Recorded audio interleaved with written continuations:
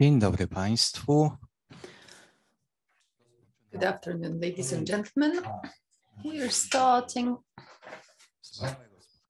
another panel during our meeting, and the panel is entitled Secure Digital Lending in Poland. So what rules regulate e-lending by libraries?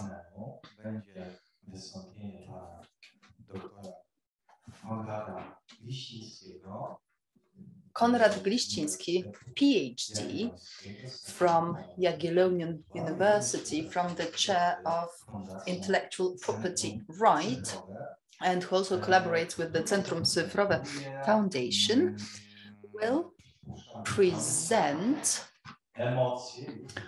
I hope, quite emotional. Okay, I can already see these emotions here. Well, some thesis on how to solve the problem, what this new idea behind e-lending could be. I believe that this statement will stir um, emotions here. Now, what our who our panelists are, let me introduce from my left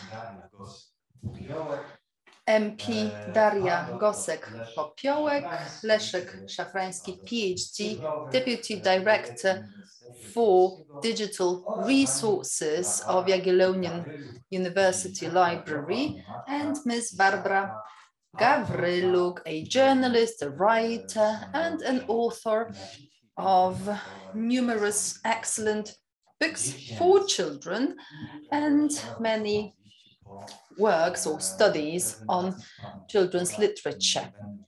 After the presentation of Mr. Konrad Gliściński, I will ask our speakers to refer to what we have heard, and then we will have time for questions from you, ladies and gentlemen. I believe that Mr. Konrad Gliściński will mainly receive questions concerning his report. Now, one of the main threads um, discussed here have been this appetite for risk and appetite for other things. And I believe that we are already looking forward to what uh, Mr. Konrad Gliściński will tell us about. As I've said, I'll speak about the report that we have prepared together with Future Law Lab as part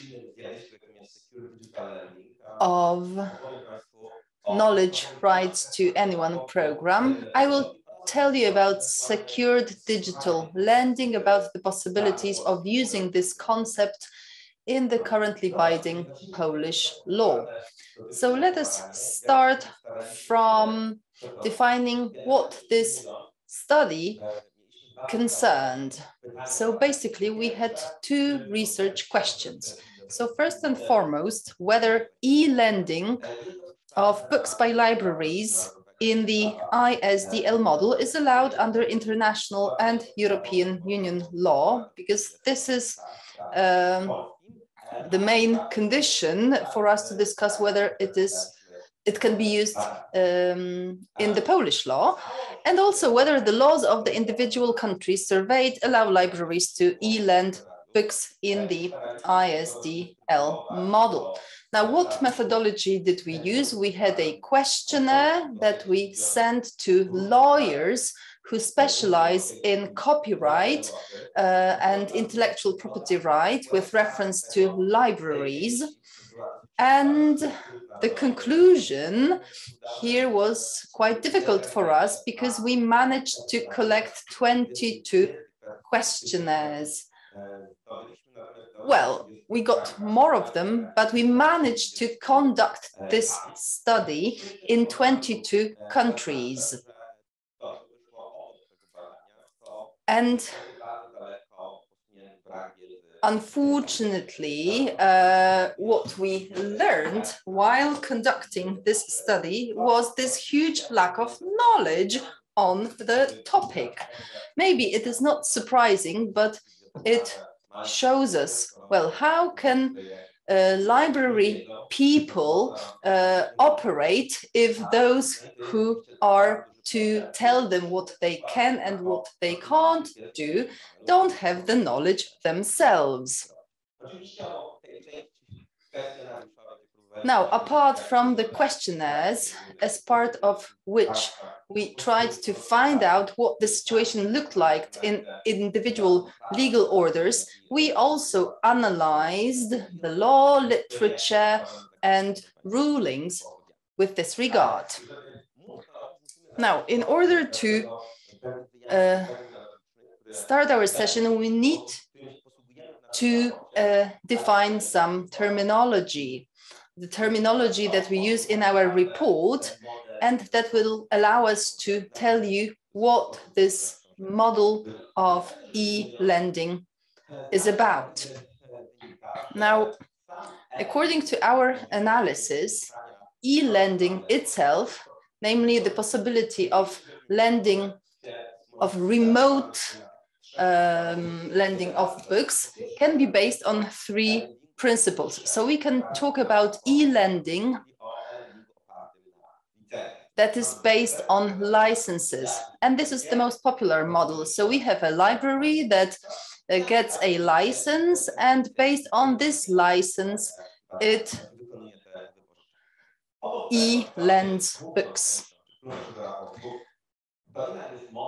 Apart from it, we have this e-lending model, which is not based on a license, so a permission or authorization of the right holder, but on a certain limitation of copyright. So here we have two main models of this kind of e-lending. So this model uh, is used in the United States. It is now used, but maybe it won't be used in the future. It is called the controlled digital lending and something that we called secured digital lending just to uh, differ it from the CDL. So there's this so both controlled digital lending and secured digital lending are used on the limitation of copyright but on the other hand, imposes on those who lend books uh, additional obligations. So you can't just lend books anyway, anyhow, but you need to fulfill certain requirements. There's also this friction-free model. Maybe it's not very original, uh, but this model won't be acceptable from the point of view of copyright. So the situation where a library or a different entity lends books without any limitations, any, um, then such lending is seen as illegal. But I'm speaking here about this friction-free model because the question whether we agree or disagree whether e-lending can be done as part of secure digital lending, we can still bear in mind that books are available on the internet and people can download them. So this is this uh, reality that we want to oppose by some legal uh, reality. Now, in the United States, there's the controlled digital lending, and it is based on two elements. Well, both models make it possible to digitalize paper books for them to be e-lent. So both models are based on three basic prerequisites. So first and foremost, a library needs to have a legal copy um, of a paper book. Secondly, this e-lending, as opposed to friction-free e-lending, has to be based on this principle, one user, uh, one copy, one user, which is related to some uh, technical um, limitations. And if you want to uh, lend books according to this model, libraries need to use some technical measures which will make sure that following uh, after some period of time, this book cannot be used by a user anymore. So these models are similar with this regard, however, they have different legal grounds. And they are extremely important here because this controlled digital lending model is based in the United States on the combination of their fair use doctrine and first sale doctrine. And the model that we are talking about has a totally different legal ground. It is based on the directives of the European Union, but the directives that are based on this closed catalogs of possible exceptions and limitations. I will speak about it in greater detail in a moment. So there are two different directives. So article number six uh, of directive on lending uh, right. Uh, and the second is the um, article number five of the InfoSoc directive. Now, in our secured digital lending, we have the combination of this lending act with public lending rights, namely remuneration uh, for public lending. Now, in the United States, this provision of law does not exist. And this causes certain doubts from the point of view of international uh, law. And now, in the United States, now the greatest organization in the world that has been involved in lending books based on the controlled digital lending model was Internet Archive, but Internet Archive has been sued by a group of publishers who believe that using controlled digital lending model is against the law. Now we have the ruling of the court of first instance. It's from uh, December last year and it's included in our report. And this uh, ruling is negative. So the court of first instance uh, has declared that this controlled digital lending model isn't fully proper. Now, we've talked to people from the Internet Archive and they are going to appeal against this ruling. But on the other hand, the, uh, our uh, independent secure digital le learning has different legal grounds and because we have this public lending right to remuneration, from our point of view, this ruling in the United States um, isn't very important for us. Now, when it comes to secure digital lending, it's a form of making books available uh, which is very clearly defined. So what requirements have to be met for such lending to take place? And what is of key importance to understand this model uh, are two elements. So first, it is based on uh, the presumption that a library can lend uh, e-books that it has digitalized on its own. So if it has digitalized the book, if it has, uh, if it's bought a legal copy of a book, it can then digitalize it and then uh, make this copy available digitally, so e-lend it.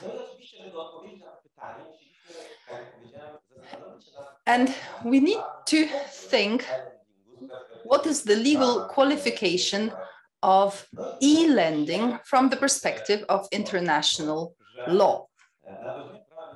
Now, at the level of international law,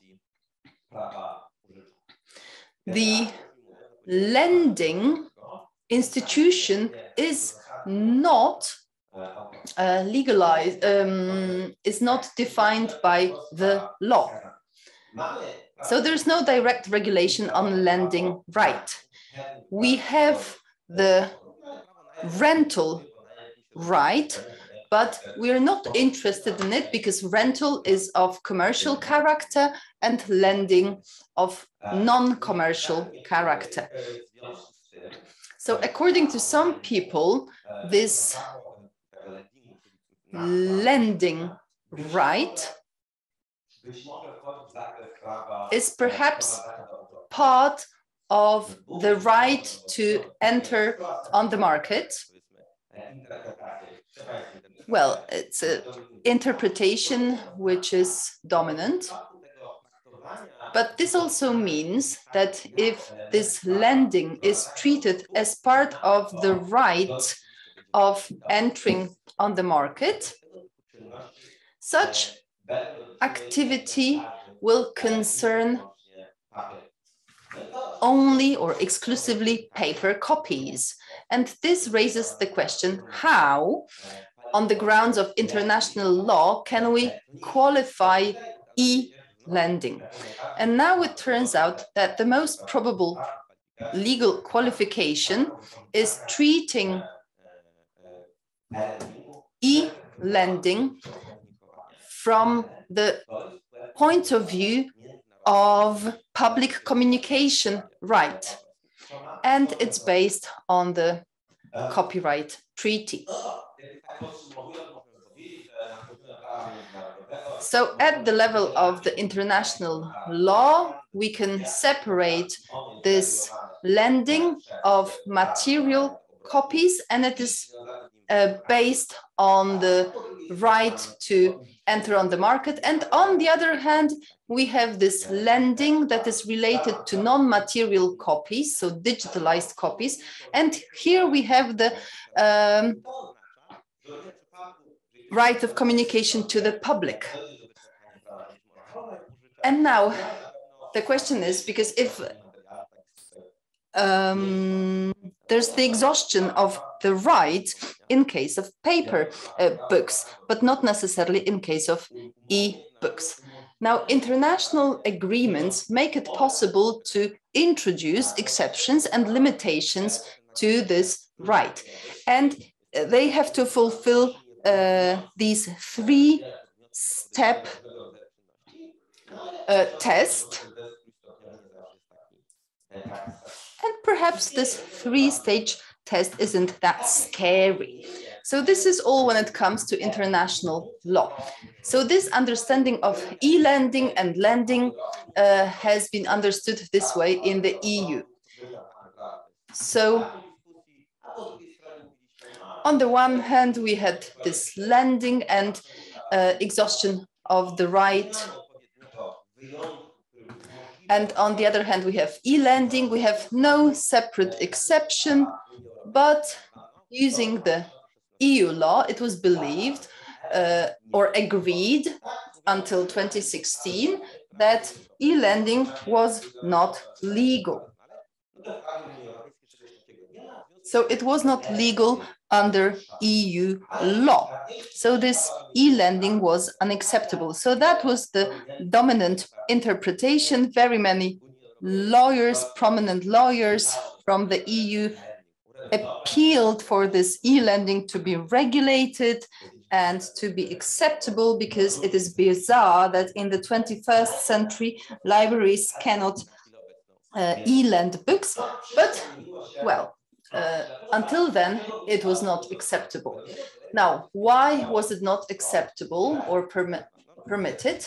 Because it was shown that in the directive, we had this notion of a copy and that this notion of a copy concerned only paper copies uh, of books in material form. So that was the dominant interpretation until the VOB ruling, which reversed that interpretation, showing that it was incorrect, and on the grounds of the EU law, a different interpretation is now binding. Because it said that this notion of a copy included in the directive, when it comes to the rental right, it concerns only material copies. However, there's no legal ground for uh, for this notion of a copy to be treated only as a paper copy under lending right. So this ruling was preceded by the opinion of Professor Maciej Szpunar, general spokesperson of the Court of Justice of the European Union, uh, which said that libraries played a very important role in public life and they couldn't uh, be um, deprived of the basic tool of operation. So that opinion also uh, said that this notion of a copy also included a digital copy. So this VOB ruling uh, gives us this foundation for our discussion on e-lending because it meant that e-lending was part of library lending. And if we have library lending, then it may also concern e-books. So there are no doubts concerning this. And now this VOB ruling is an important part of what I'm going to uh, say. So it is said that uh, a library can e-lend books uh, on the condition that it has uh, a paper book that comes from a legal source.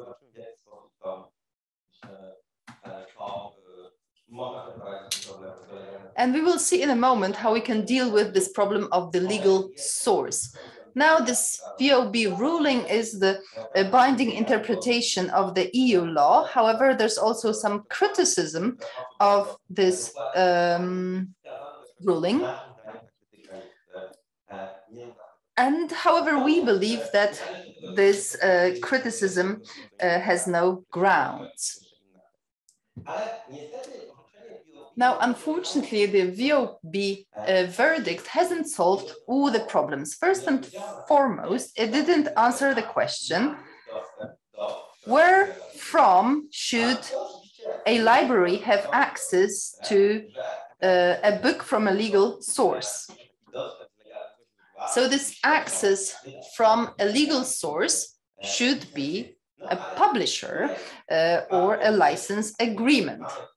Okay, if we have a book which is available based on a license, and this license excludes the right for lending, so does this VOB ruling break through this license element or not?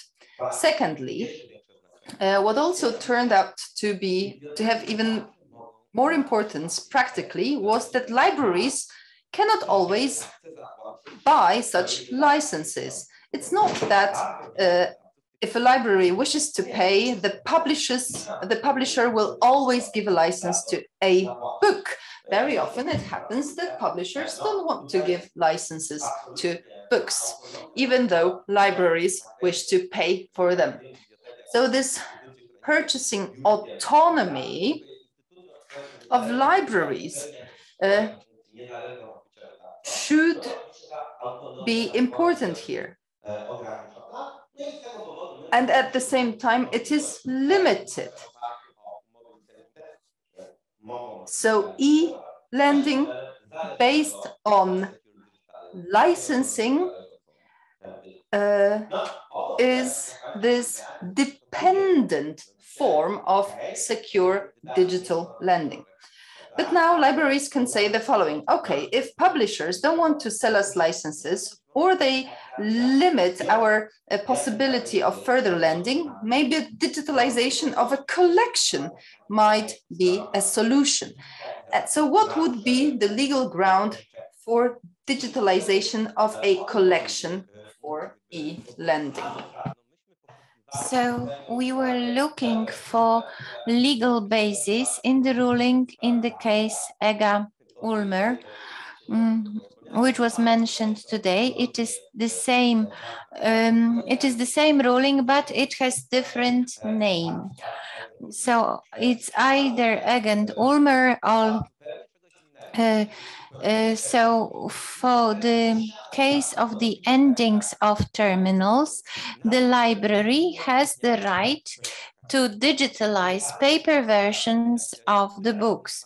So if you are reading the very directive, so this right, it is not explicitly stated. However, we must not um, allow libraries um, to make something render available on terminals uh, making at the same time it um, and not allowing them for digitalizing it.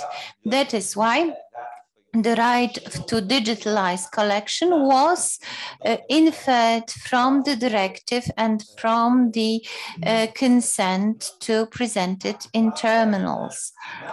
So in fact, in our opinion, um, what we um, concluded is that if we connect the ruling, the VOB, uh, which defines a copy with the logic that was um, um, included in the Eugen, Eugen Ulmer ruling, this will allow us for the digitalization of collections for the needs of lending that is within the independent digital learning, irrespective of the conditions of publishers.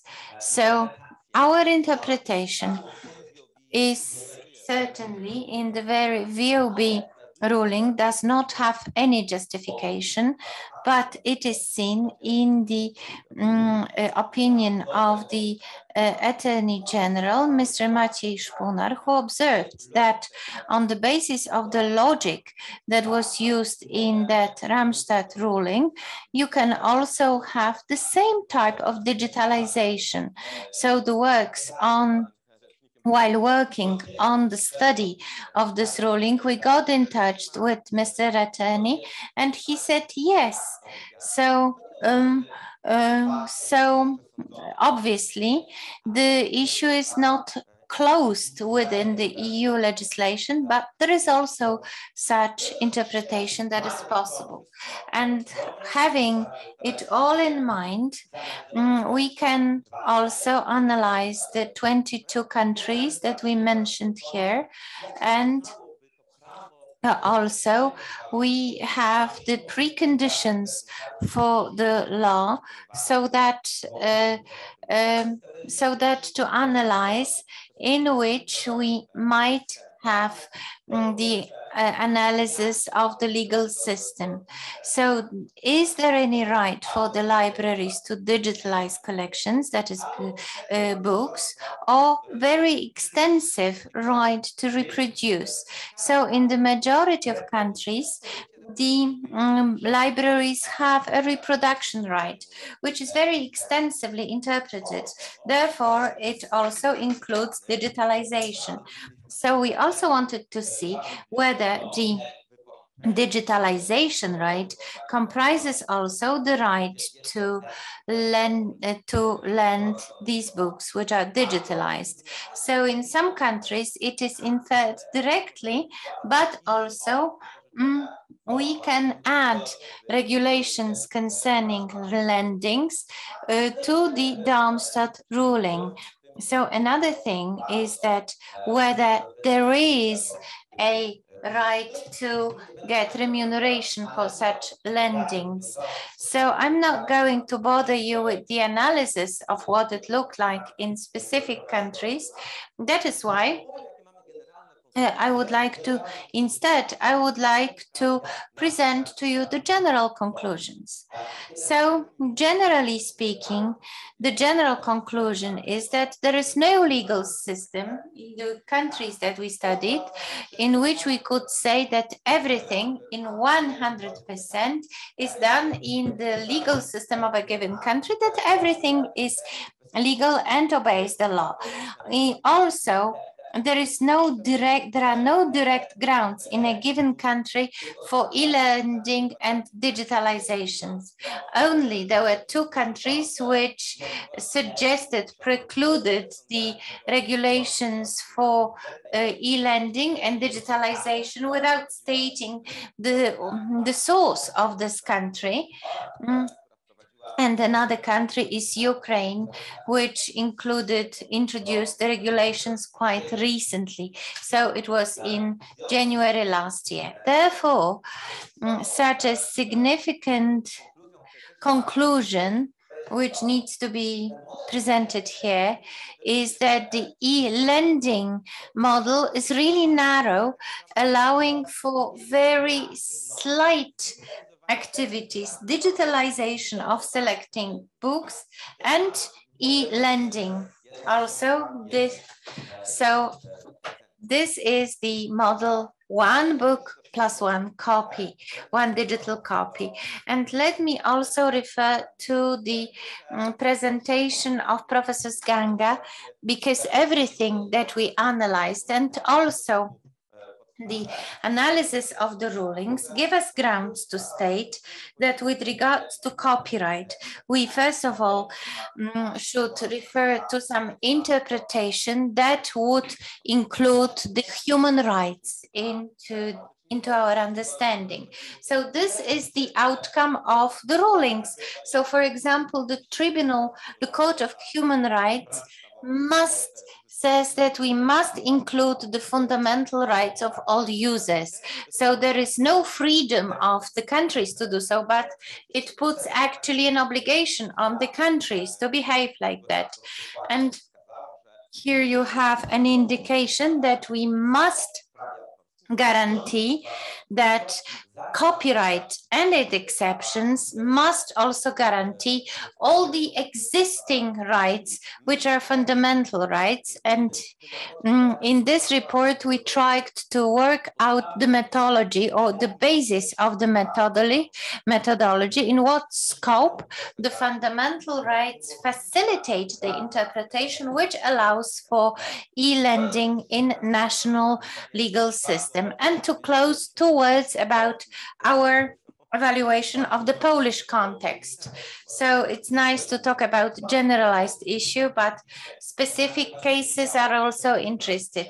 So we ad, uh, so we analyzed uh, our national uh, legislation with regards to the three elements. So the first condition says that in the national law we need to have the possibility of digitalization of the books by libraries. In Poland, it's not stated directly.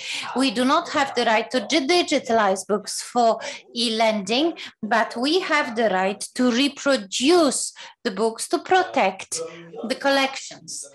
And one of the interpretations, perhaps it's not dominating, which you can find in the comment which is quoted here.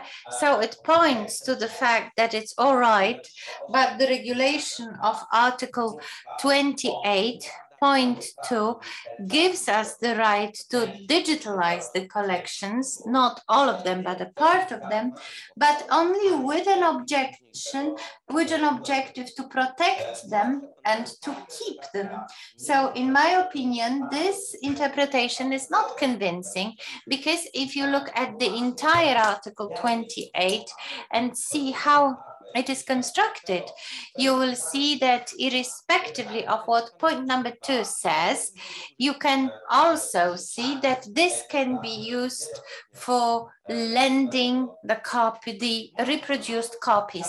So in my opinion, this is how we evaluated that. So this is the legal basis. If the library has the right to reproduce, and if it has the right to lend what they reproduced, so there is no reason why library using the same argument and also supported by the argument to uh, to protect the fundamental rights of the users. So why shouldn't we interpret this like that?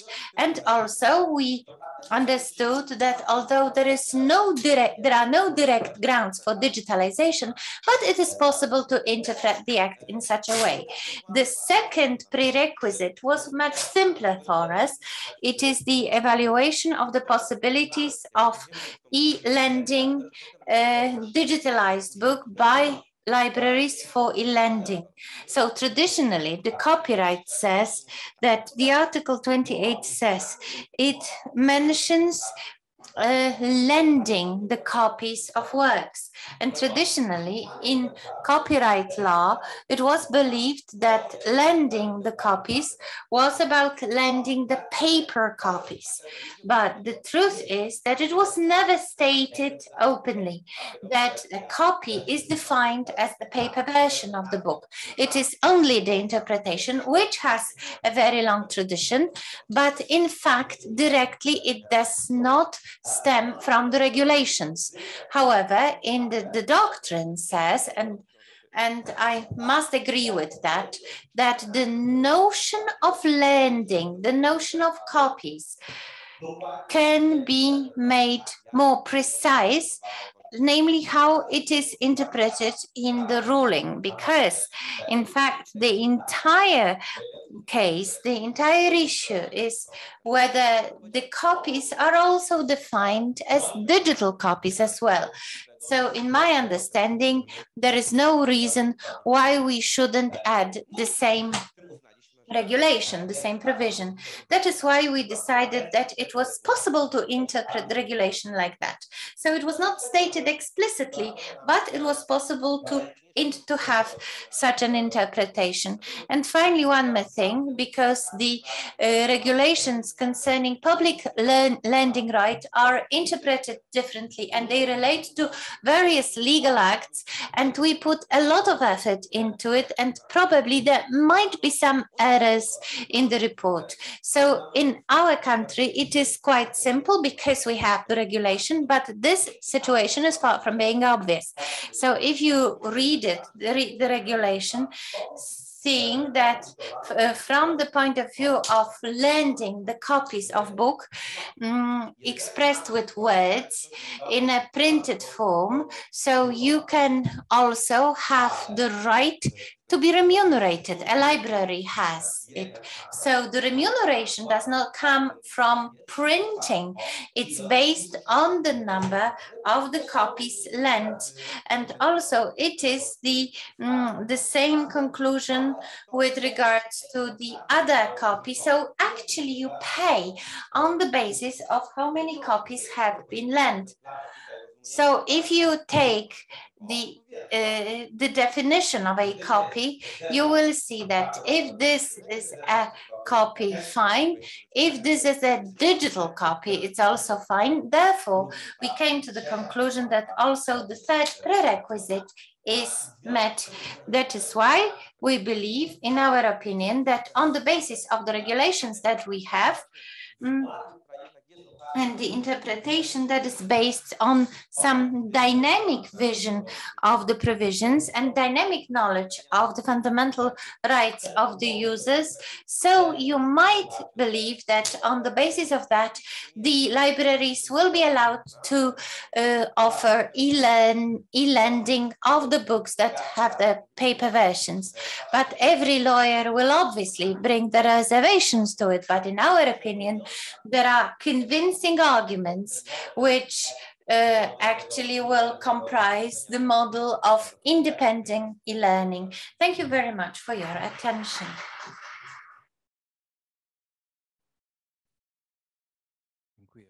Thank you very much, Doctor.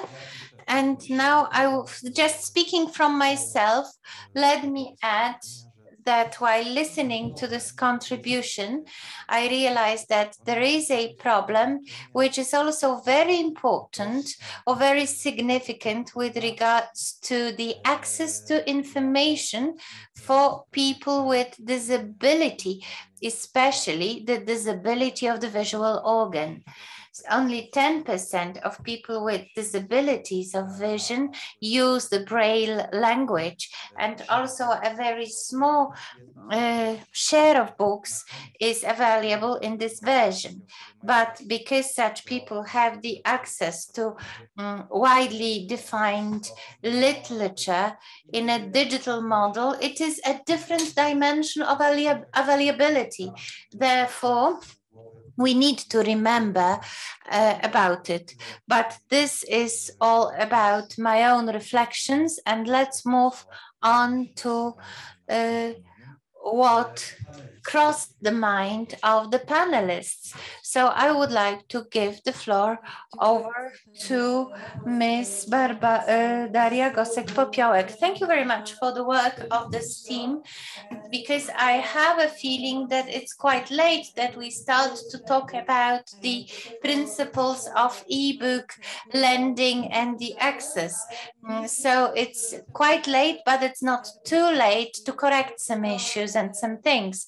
So when I was listening to the presentation of the doctor, what I realized was that we are in a situation of a revolutionary change with regards to the possibility of democratization of the access to literature. And at the same time, we have a very extensive need, very extensive needs of the users. We have the issue of copyright, and also we have the issue of the interest of the publishing houses. That's why these elements seem to be interconnected. So uh, I can say that I have a great need to um, specify these regulations so that they are not so apt to many interpretations. And this will happen, especially that we are at the moment of some legislative changes, especially with regards to the operation of the copyright and also with regards to the rights of authors, uh, and artists and the use of some streaming platforms. So these uh, subjects will be have to will have to be analyzed. Uh, is and I will try to um, make the research uh, group also considered in these opinions. So I'm just looking at my own notes so there is one more significant issue that comes to my mind here. So we are living in the model in which we believe that we, uh, the material copies exist and also that books might also have paper version and uh, digital version. But the way in which young people operate within literature is so it illustrates something different. So for example, some portals like such as Wattpad that ends with a publication of a book. Frequently, it is only an ebook. So sometimes it is only a publication that operates in the internet. In the internet. So um, the question is: Do libraries, as uh, places that must respond to the needs of various generations, should also get into the sphere? So uh, let me give the floor over to next speaker. So perhaps we'll return to that issue.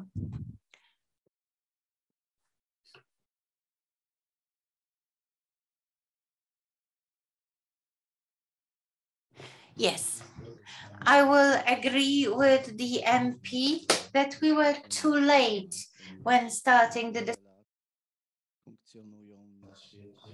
because for many years we have had various digital publishers or electronic publishers.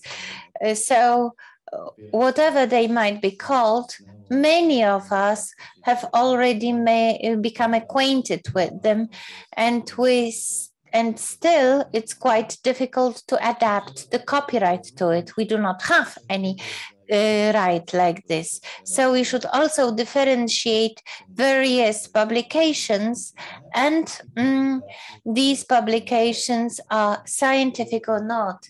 So these are two diverse things. All the publications to which we might have the access from the point of view of a library, uh, they might have, there might be a large problem in rendering them available and it all depends on the context of what we lend. So whether these are the collections which are already in the public domain. So here, in accordance with the principles of copyright law, the uh, property rights have already been exhausted. They have simply expired.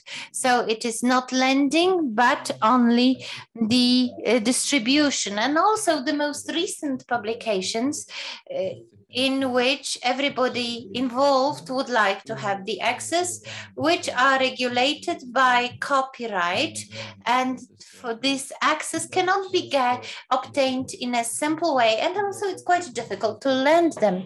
So libraries started to cope with that in a uh, in a number of ways. Some of them agree for the prospective infringement of law, whereas some of them try to render these collections available. And also, we are dealing with a significant issue of scientific publications, which, in a, according to the new principles of academic communication, um, especially in Europe or worldwide, so it is says the open science, open access to scientific publications, which were published using public resources, public money. So somebody has already paid for the publication and the author, should they agree, renders the book available via their own uh, resources or via libraries to repositories or systems of digitalizing. And such systems, digitalizing systems are available everywhere and anyone can have access to them. But we also have obligatory copies so should uh, such obligatory copies be rendered available in any other form? So um, this is the question of what men was mentioned by the report. So what are the principles for lending such publications? And um, do we we have some possibilities. So can we purchase the license? But if the publisher disagrees, the publishers start to um, uh, to use various platforms which lend the books which are the property of the publisher and not the library. So the library purchases the license and not the book and uh, renders it available to its user.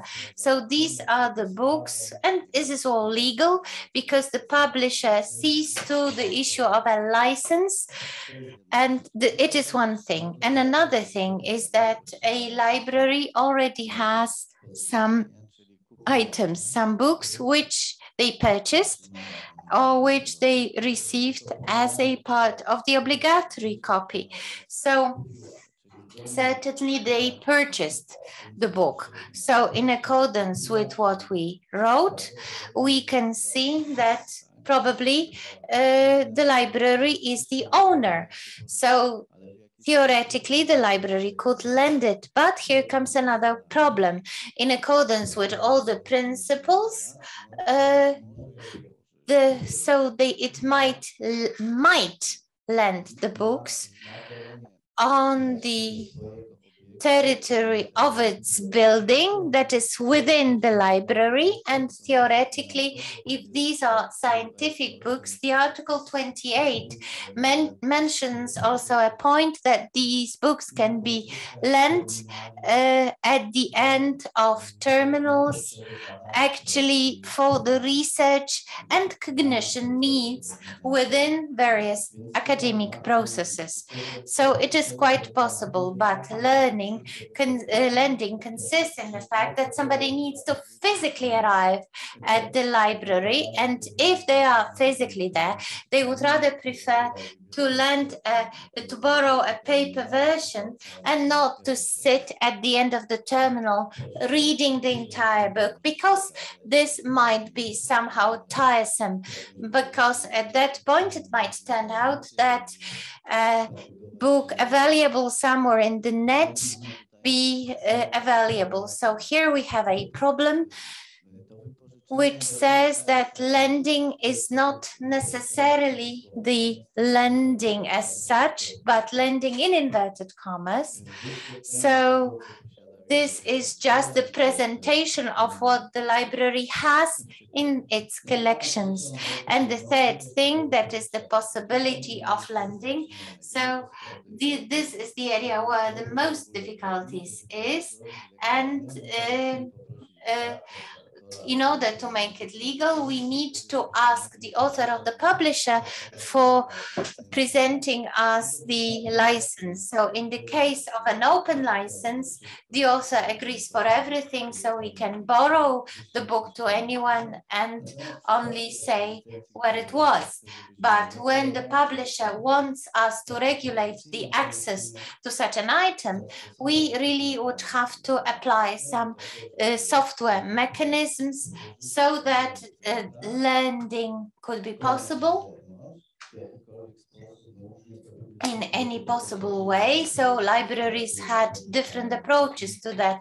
So sometimes, for example, the um, the readers, the such as Kindles, were le, were lent. So, for example, such a, an option was uh, ciphered or uh, uh, encrypted or not. So uh, certainly the this was quite costly if the library was supposed to uh, make so many additional sources. So who would have to buy the reading devices so that the readers could buy the files, uh, could borrow the files in which they are interested. So there is a number of problems connected with the lending. That is why there are no direct uh, principles which would say, yes, you can do that. No, you cannot. So again, uh, uh, there is an option that the open access should be made available in academic libraries. And as soon as we get the copyright from the author, we can do it in a legal way. So the problem is immediately solved. But again, it is not a lending like the one that we are talking about, but also the uh, distribution uh, and uh, uh, which was the subject to the library's consent. But in the case of such lending, but definitely lending, so that you could physically carry the book from the library or download it. So we have the uh, IT barrier, which is quite costly, but it obviously uh, can can be passed, but it's never legally regulated. So the question is, at what point do we break the law? So it is a difficult question for a start. So uh, let's perhaps um, have a round of contributions and then questions.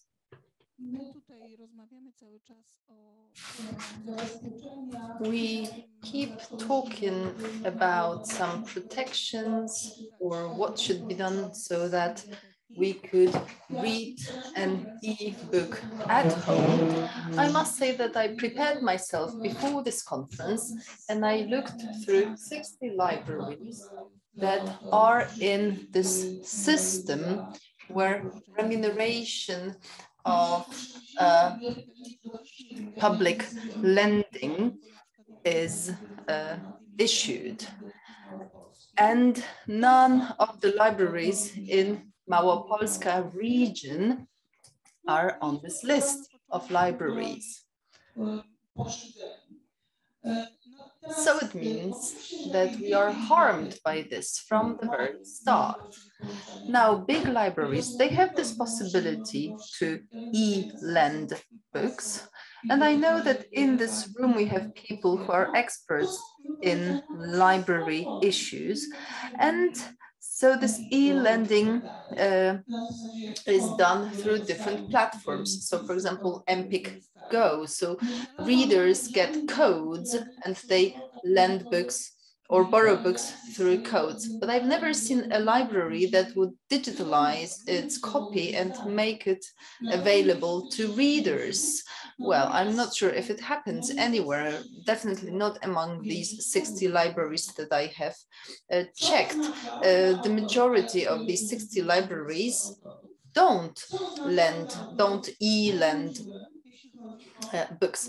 For authors, this means a black hole uh, when it comes to public lending right. We have no clue which of the books have been lent, uh, which, which books have been lent as paper copies and which of them as e-books. And when I ask for asked for information whether ebooks were calculated too, I received this information that you have shown us, namely on uh, printed copies, because a printed copy is not an ebook, but a paper book.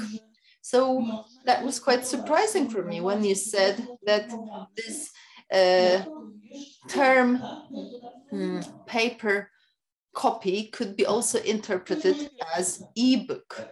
Okay, yes. So that was my first question. I don't have this presentation on me. Yes, I have the sentence here. Yes.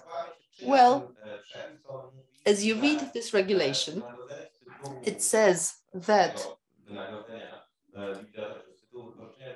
public, public lending right remuneration results from copies of works that have been published in Polish in a printed version.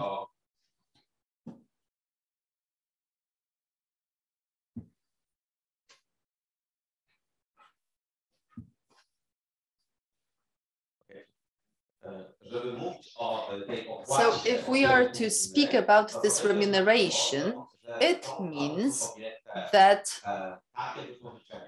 such lending that concerns books that were initially published in Polish and in print can uh, be grounds for this remuneration. So if a book that was originally an ebook, we're talking about uh, publishing houses of ebooks um, too, they are not covered by this regulation. But Article 28 doesn't tell us that this remuneration is for copies of printed works. Now, if we understand this copy of a printed work, also uh, understand it also as a digital uh, copy, then when it comes to books that were initially uh, in print and then digitalized, well, they are covered by Article 28. However, this article doesn't cover books that were digitally born. So yes, I'm talking about this one class of cases.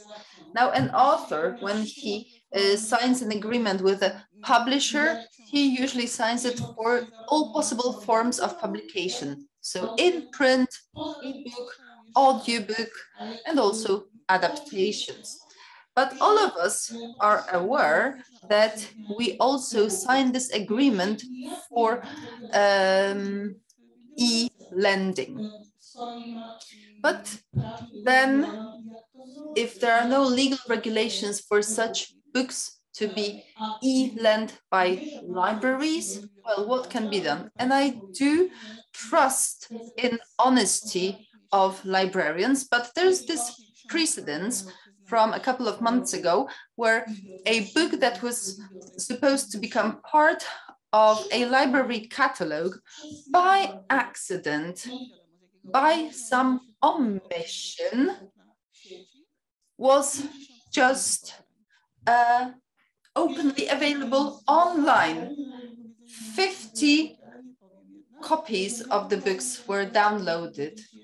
It's one of the most famous and popular uh, children uh, writers.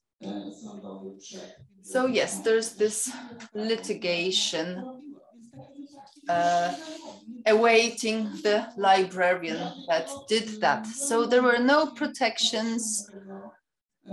It was impossible to stop this process until this copy was removed.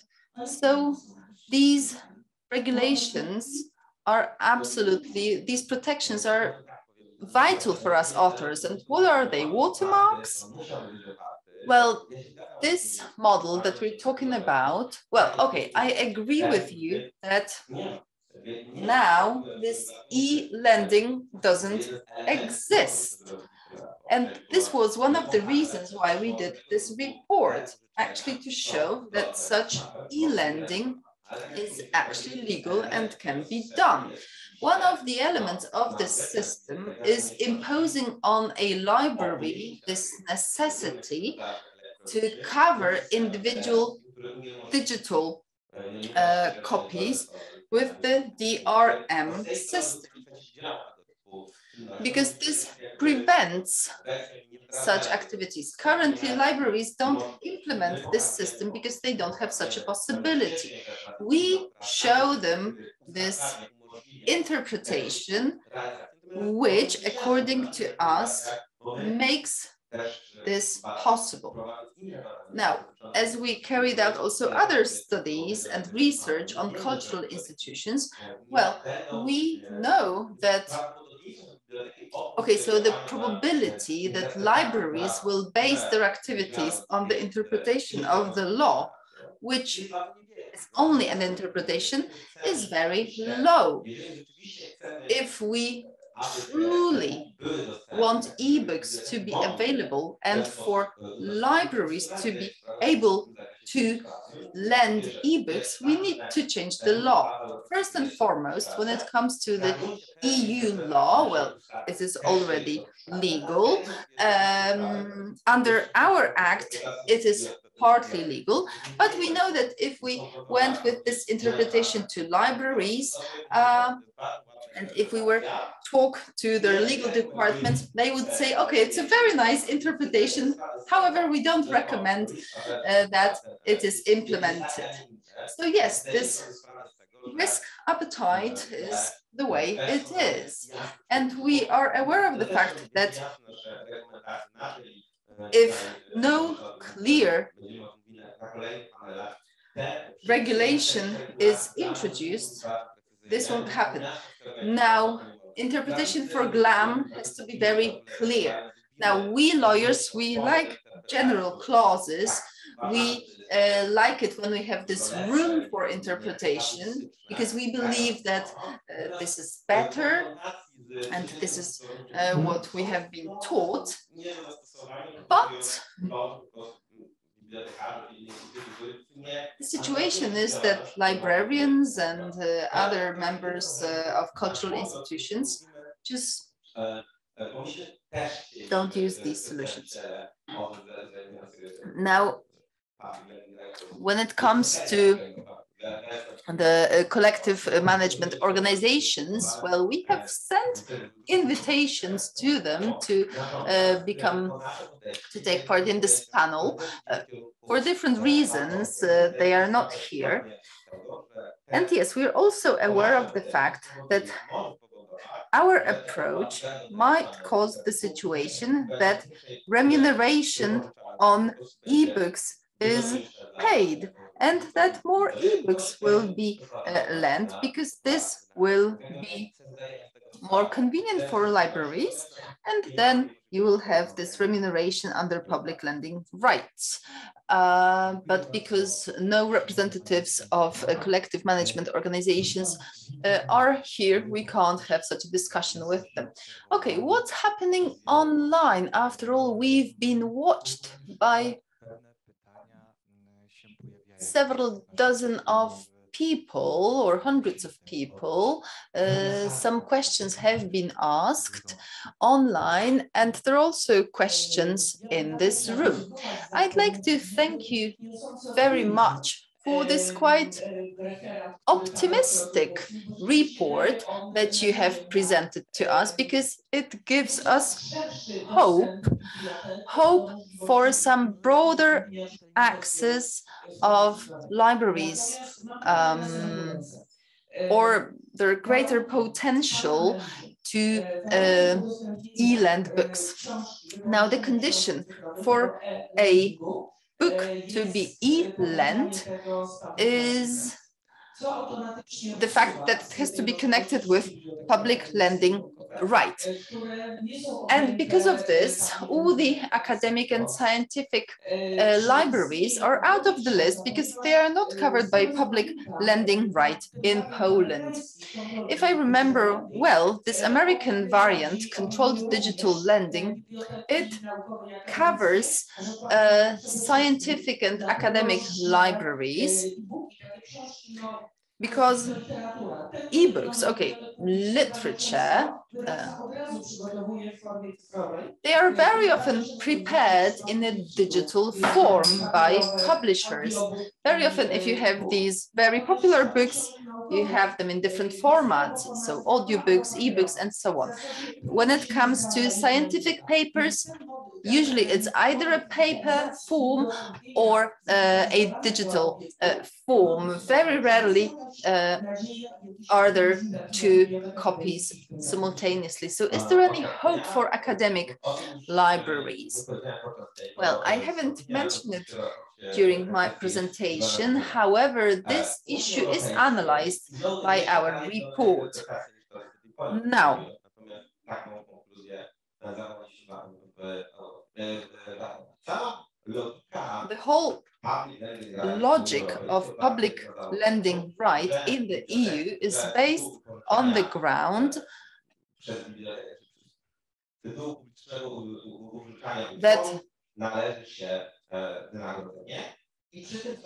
because you uh, lend works publicly, you are entitled to remuneration. However, certain libraries can be excluded from this principle. Now, these issues are uh, included in the report. And there are two interpretations here. So first and foremost, since member states can exclude certain categories of libraries from the public lending rights system,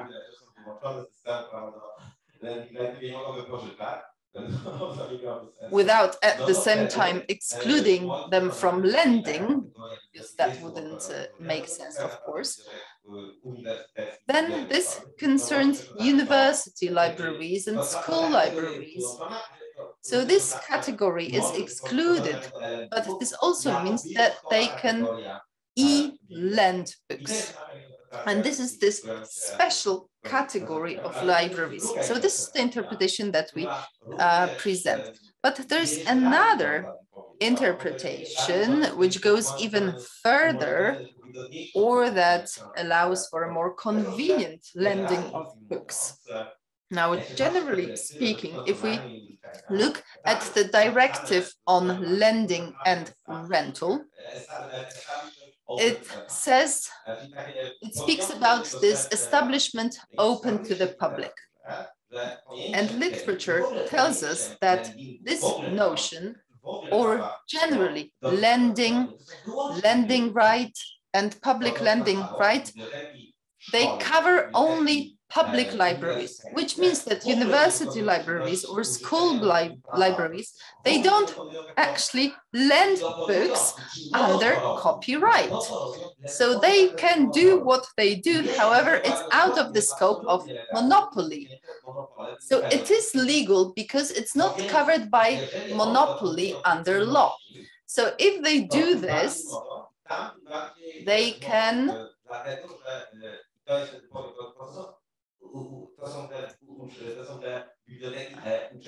so these are these university libraries and, and school libraries, and I'm mentioning them here because this concerns the exceptions according to which such establishments can use works. So there are possibility of lending is greater. It doesn't have to be limited in time. After all, lending is this right that's limited in time. However, if it is done for educational purposes, it is not limited by time. So these libraries are not covered by this lending right because they address this limited group of users. And this interpretation has been adopted by a scientific paper uh, that we actually quote in our report from Great Britain, uh, which says that university and school libraries are not the libraries that are covered by lending right. Well, I believe that such libraries, uh, at least in Poland, are covered by this right. But since the legislator can introduce this uh, exception that they don't pay for lending, then definitely it can also be decided that they don't pay for e-lending. I hope that I answered your question. Time is flying, ladies and gentlemen. Is there anything interesting online? Yes, it's a question to Konrad, and I hope that with his answer, he will sum up some doubts. So as a library, we buy um, e-books from foreign publishers, for example, from Germany or and Great Britain, and we make them available via our terminals. Is it possible that we lend these publications to our users? I'm sorry, but I have a problem with this question.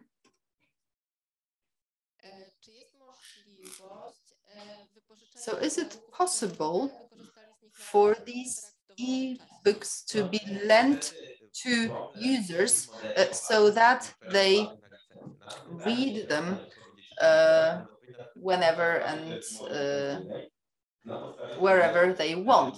Well, we need to check what is included in the license agreement.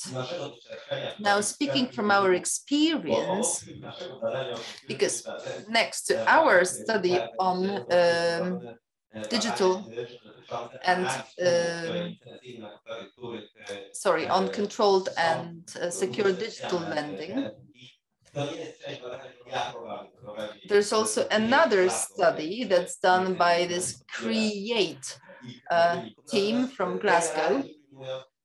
But generally speaking, the majority of the licenses include provisions uh, which stipulate the conditions under which lending can be done. So it's usually this agreement which decides whether lending uh, has to be limited to terminals or not. And that's why we call this model this dependent lending model. So the answer is there in the license. Let me intervene in saying that most frequently it is regulated by licenses. If such a license does not permit for lending, so it the truth is that every student and staff member of a university or an academia can use the publications which have been purchased, but it is also uh, the result of the fact that we by the access to platforms that learn that land. So in Poland, we also have the platforms like Legimi or IBU and uh, of the Polish uh, scientific publications, which render the platforms available, which is not obviously the purchase of a library. So it is the publisher that regulates that on the basis of the license. So reversing the question, if the library purchased such a book, we are getting into the sphere regulated by report. So how to lend what the library has on its server or in its computer. So this is the thing which is quite difficult to be lent. So uh, this is quite simple because we uh, do have this in the license. So we learn how to purchase it from you so that I could render it available to my users. But if it's purchased as property, as ownership, the, the problem is different. So both digitalization and lending, and also the problem that we already have the digital version. So we will render it available in scientific libraries, which is a bit simpler because we might render them available on the computers in the library. So it is not an interesting solution for the reader because not everybody wants to read a book for a couple of days uh, and go to the library. They would rather um, uh, drive and listen. So uh, this kind of lending is quite problematic and you can also agree with the publisher to extend the license and then this is a problem when the publisher not necessarily wants to because they do not earn from it. So if they make it available on the platform, so they learn, they earn, but uh, if he, they are supposed to agree for our lending, uh, they stop earning because they sold it once. They sold, sold the license once. So this is with regards to digital uh, items which are in libraries. There is one more. Do we have the time for one more question? And also from the floor. So we have something like four minutes. So just a short comment because I don't know if I understood well. If you have an ebook purchased from a publisher, so sh we shouldn't learn it, lend it. But uh, if we have the Polish uh, Act with Article 28, so if the rendering available should be made on the basis of the Parliamentary Act. So lending does not permit the exception. So we can have it and then use it. And it's unlimited. It is per use. Yes, yes, it seems to me that it is the right interpretation. But just to clarify, let's not get to the analysis of the relations concerning uh, lending books on the basis of license agreements. This is the issue that another team is dealing with. But with regards to the principle, yes. So with one exception for the endings of terminals. So uh, if we have a contract, this can be used. So yes, I just listened to what you said. So I do agree that regulations concerning fair use cannot be used with the exception for one point. So such an interpretation was adopted by the ministry when the, uh, the directive was implemented into Polish legislation. So this is how it is interpreted, but it is not the uh, explicit um, uh, uh, conclusion from the regulations. So this guarantees the legal safety. So there are such regulations, there are such systems which say that it can be uh, included. Uh, so I agree with the dominating interpretation, but it is not very well, it does not have very concrete, concrete legal grounds. Yes, we are looking at the watch, at the clock, but it is time for coffee break. But I hope that your great appetite for knowledge have been satisfied. If not completely, I can say that the coffee break will be a good occasion to continue our discussion. Thank you very much, Doctor. Thank you very much, panelists. Thank you. And please enjoy the coffee break. Unfortunately, we would have to shorten the coffee break to 15 minutes, 20 maximum. I'm sorry for that.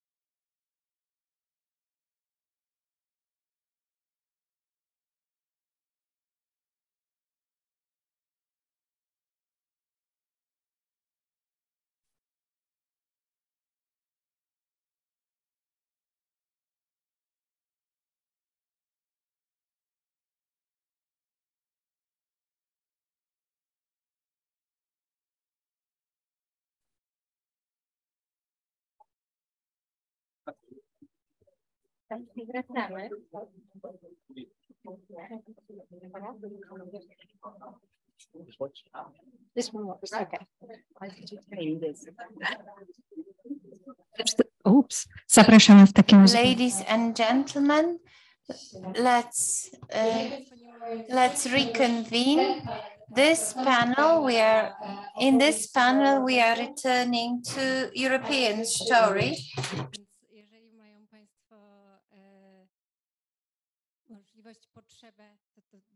Should you have any need to use interpreting into Polish, please take the headsets.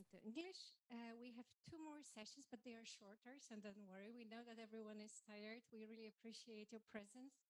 Uh, and um, with the lovely weather outside, uh, this brilliant space, but yeah, there is sun.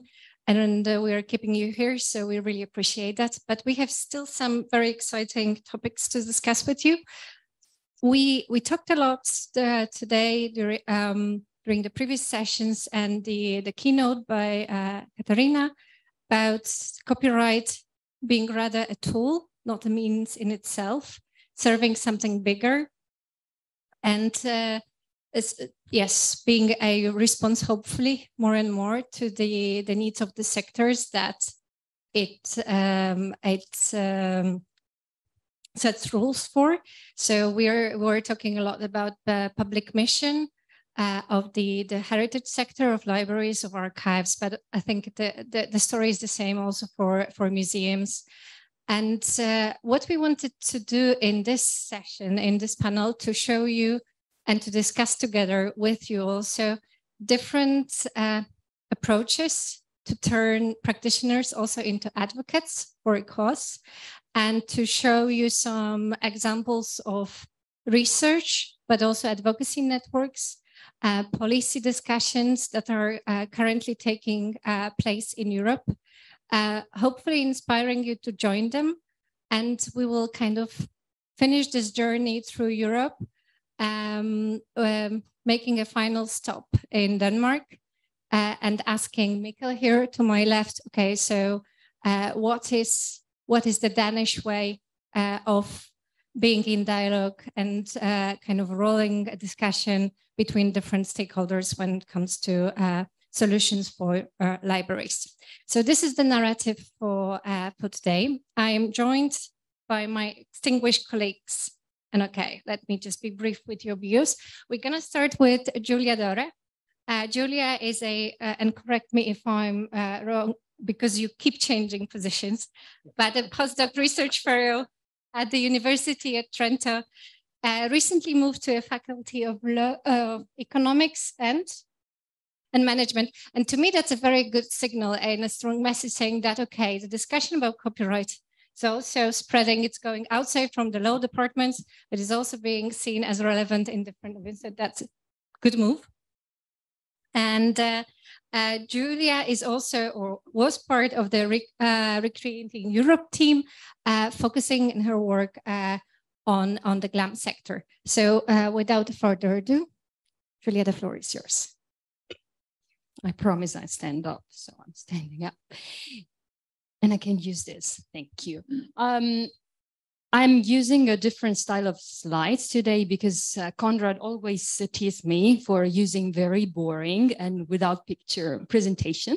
So today I'm using pictures and I hope that this will help us to finish this wonderful uh, lengthy and interesting uh, meeting. And I'm going to talk you about secondary publication right in uh, Europe from the author's perspective. Don't get me wrong, I'm talking about the author's perspective, but this does not mean that it's that different from the library's perspective. And I will explain you why. Now, some premises about uh, the research context and the timeline.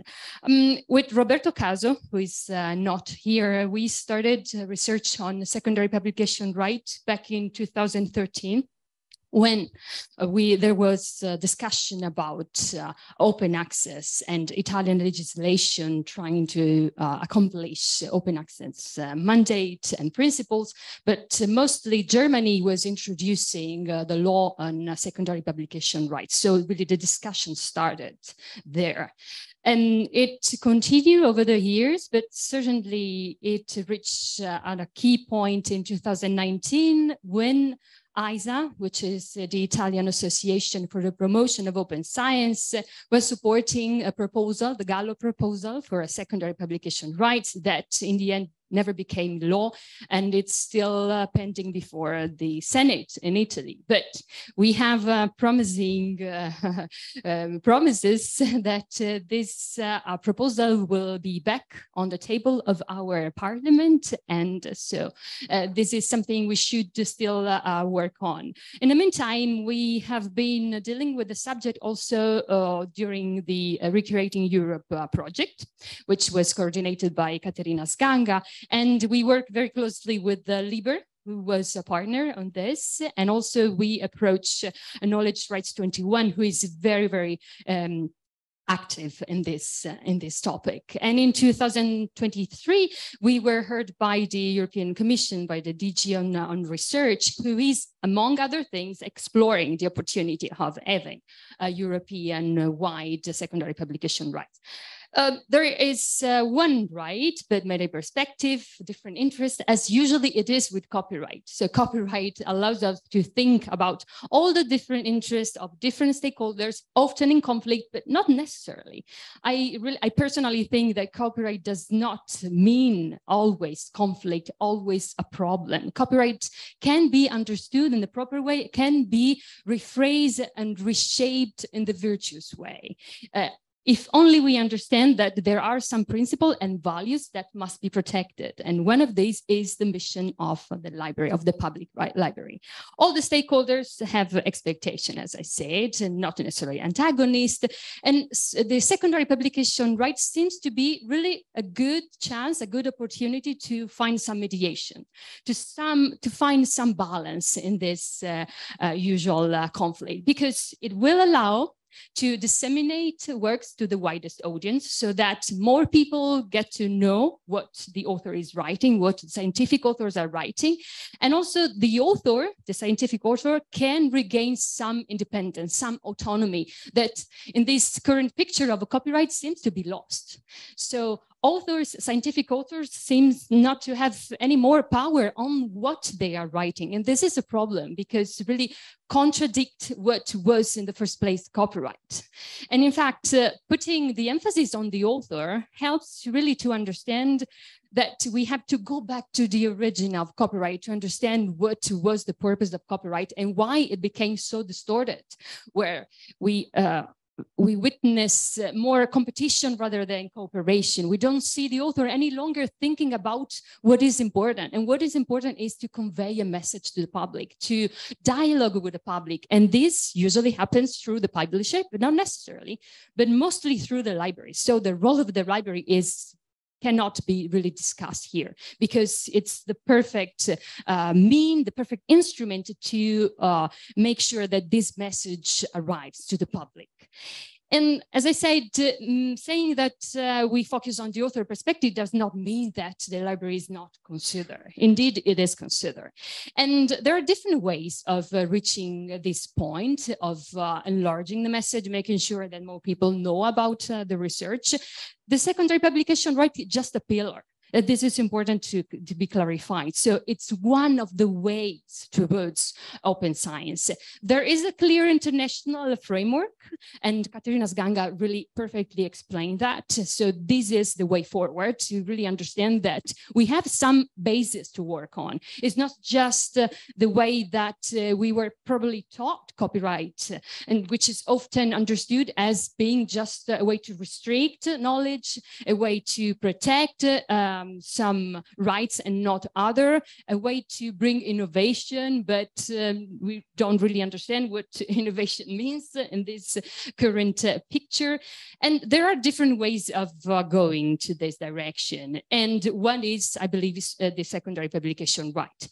It is also important to talk about this, right? Because if we look at uh, the strategies, uh, the direction that the European Commission and Europe, European Union in general is building, this direction seems to go exactly to that direction. So we are going to embrace open, open sciences in a way or in another. We cannot really think that this is not happening. The problem is to understand how we can easily go there and how we can do it in the most sustainable way possible. Because of course there are different routes as it is with open access in general. We know about the different routes, know about the different shades and even color of open access. We cannot uh, think about uh, the fact that it's increasing the, the number of definition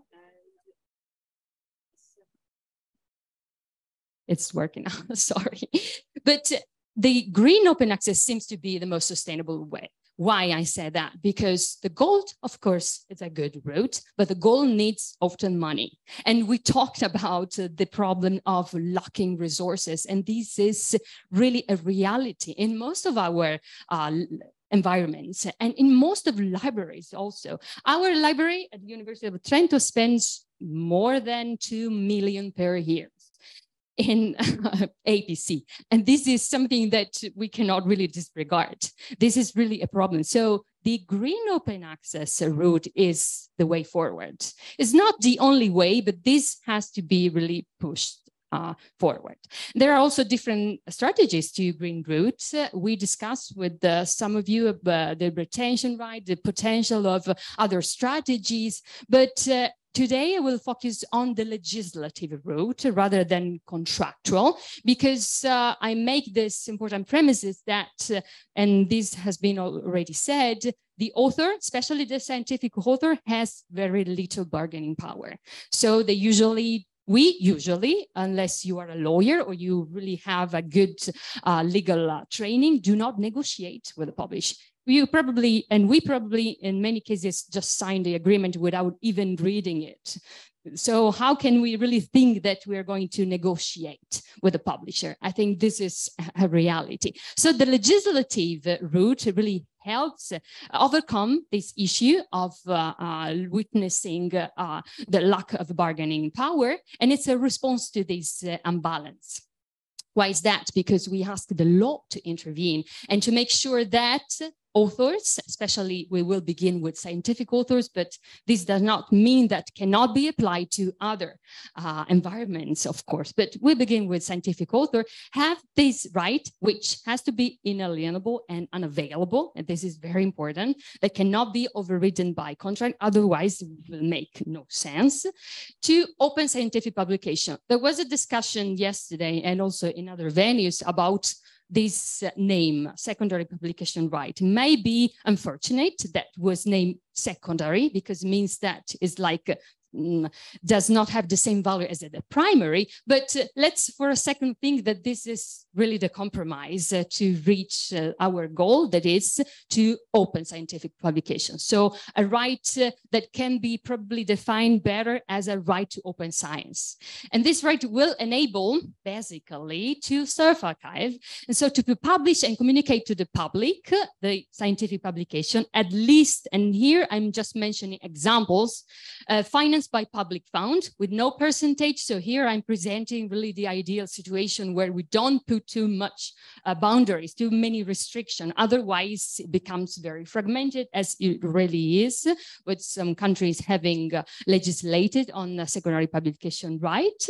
And also the fact that has to be put and stored in an institutional repository should mean something. Should mean something because it is there that we don't really see the peril, the danger of a commercial use that it's really frustrating the nights of everyone in this in this discourse.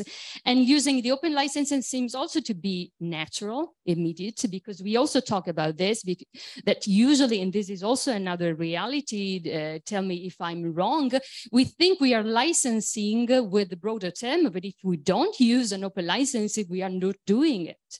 And this is often underestimated. And I think it should be um, emphasized the fact that the proper terms of the license have to be stated and have to be um, made explicit. And of course, cannot be overridden by contract, as I said, or technology because in that case, it's not enforceable and it's not a right anymore. And the publisher can be mentioned, should be mentioned in most of the provisions that have been enacted. This is specified and this is important, of course, but this does not mean that the author cannot do anything else with the publication. And in fact, why is I am saying this, and I'm going to the conclusion, don't worry, because there are important philosophical roots behind it.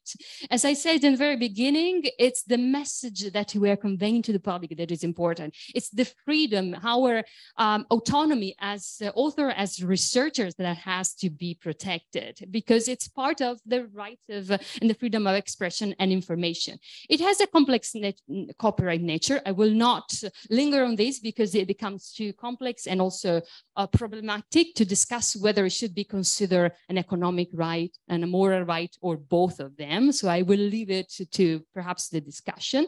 But it's important to say that belongs to the author, not an institution. It should not be conceived as an obligation because that if we do that, we don't see anymore the fact that is a way to uh, communicate with the public. And it's a way to address different things. Then I can stop actually here saying that the European Union is discussing this, this opportunity. And there are important reasons why this is happening. First, because there are national laws, some of them not many countries have, but there are now a few that legislate on uh, secondary publication right. But there are already too many differences and peculiarities that make this landscape fragmented. So one has a percentage, one specified the version of the manuscript, the other says uh, cannot be commercial, the other say yes. So you can see that this is already a, prob a problem for the internal market. So the reason for the necessity for harmonization is already there there is blatant.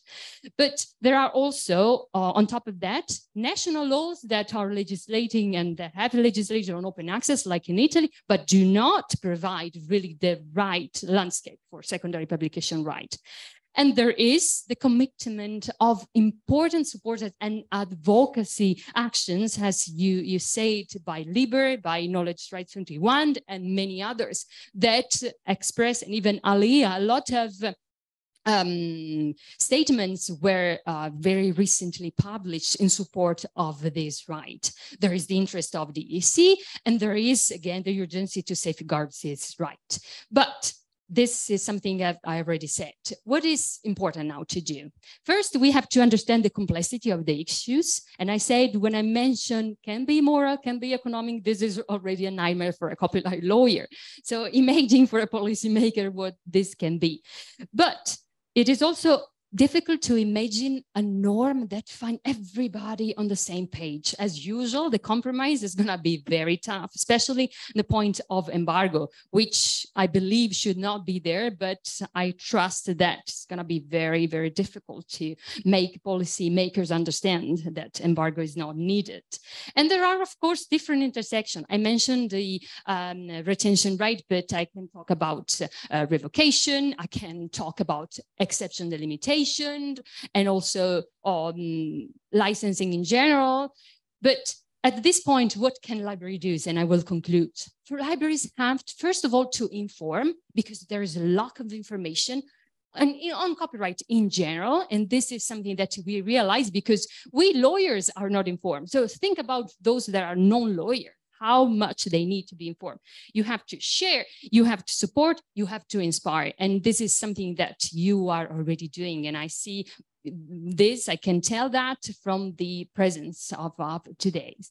So treasure your public mission, do it what you have to do, do the right thing because it's right. And that's all. Uh, thank you, Giulia. Thank you.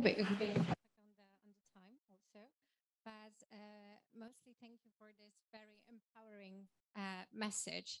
I think what I'm getting from it is just that libraries um, they also have a, a, very strong say or should have a stronger say in all the discussion uh, around copyright, copyright that is then touches, uh, that touches upon their work.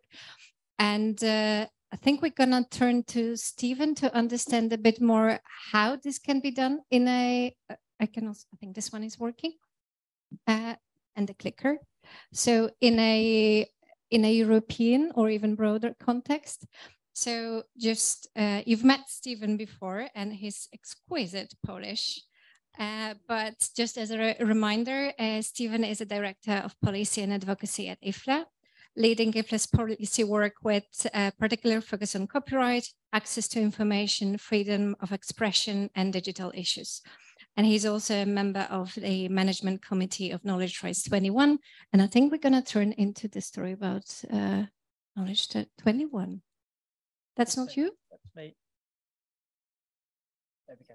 Okay, okay uh, więc najpierw nie będę uh, próbował mówić po polsku ten raz, więc to, to, to już coś. I won't try and speak Polish.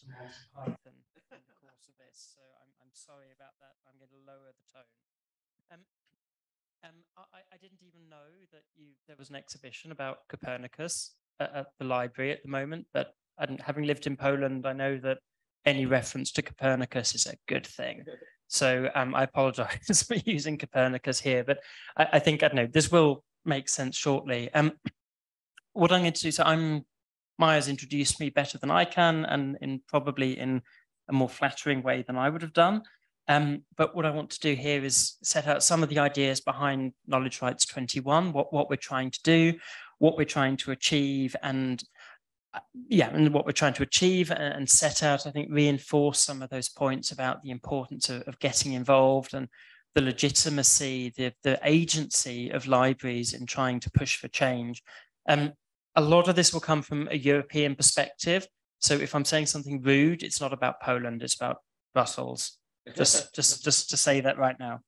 Um, so I think that the, the fundamental issue that I want to cover is the risk, the feeling that's already been talked about a, a couple of times already today that um, we're starting from the wrong place when we're making policy about research, about education, about access to culture. Um, this is the obvious Copernicus reference that we're in a situation where research is orbiting around copyright and not copyright around research. This is the Copernican revolution that, that we need to, to make happen. Um, and so what I'm we'll try and get into is, well, what are the elements? What are the contours? What's the shape of an approach that actually achieves that, that switches things, that, that, that performs that Copernican revolution? Um, to give an idea of some of the signposts of, of how we're looking at things all wrong, that the Aristotelian, that the medieval um, approach isn't working. Um, at the European level, it, it, it's kind of crazy actually that within the European Commission, the bits of the Commission that deal with research and education and culture don't actually have any legislative power. They're not allowed to pass laws. Laws are made elsewhere. They're made by other parts of the Commission whose job is not necessarily to focus on research, on education, on access to culture. And therefore, it means that when you're passing these laws, there's not sufficient attention to the to these factors, these issues which, which Caterina has already set out are based in fundamental rights, and, and so really shouldn't be something that you think about further down the road. And, and so we're in the situation where instead of our focus being there, we almost have to see research, education, access to culture as, as islands. And this is a, a term that we even heard from a, a member of former European Commissioner Mariya Gabriel's cabinet, that the logic is they're seeing these really key fundamental issues as exceptions, as islands in the stream, rather than an overall goal, rather than something that really needs to be prioritized. So to go into a little bit more depth, so one example, whenever the European Union carries out legislation, it's supposed to do an impact assessment. It's supposed to look at the ideas, look at the options, and assess, well, what would these mean in different key areas? However, the guidance for thinking about research, education, access to culture, it's not very clear. And in particular, the focus on research is very much focused on SMEs, on innovative companies. It's not focused on the sort of work that's carried out here at the Jagiellonian University. It's not focused on the interests of libraries. We're lucky if it's given that priority. And so legislation is being made without consideration, without thought about what the side effects, what the negative impact might be. So in the Copyright Directive, Articles 15 and 17 that focused on press publishers' rights and on platform regulation, on filtering, there's nothing in the impact assessment, no consideration of the impact on platforms, on repositories, and so on. These only got in by luck. It's not got much better since then. So there's a failure. And part of the risk of this is that, and this is so this is the Monty Python reference. We're letting non-research people make the laws about research, which really doesn't feel like this. The, the it doesn't feel like the most sensible way forwards. So yeah, so you can see that that I don't know, the focus is not in the right place. We're asking the non-experts to make the laws. What we, we do know, of course, is that there is a, a cast of characters. There are established arguments, established ideologies, established battle lines that exist around copyright that will see big content producers fight it out against big digital players and so on. And the arguments are everyone, they're, they're ready to stand up, they're ready to shout, to make a lot of noise. They're very organized.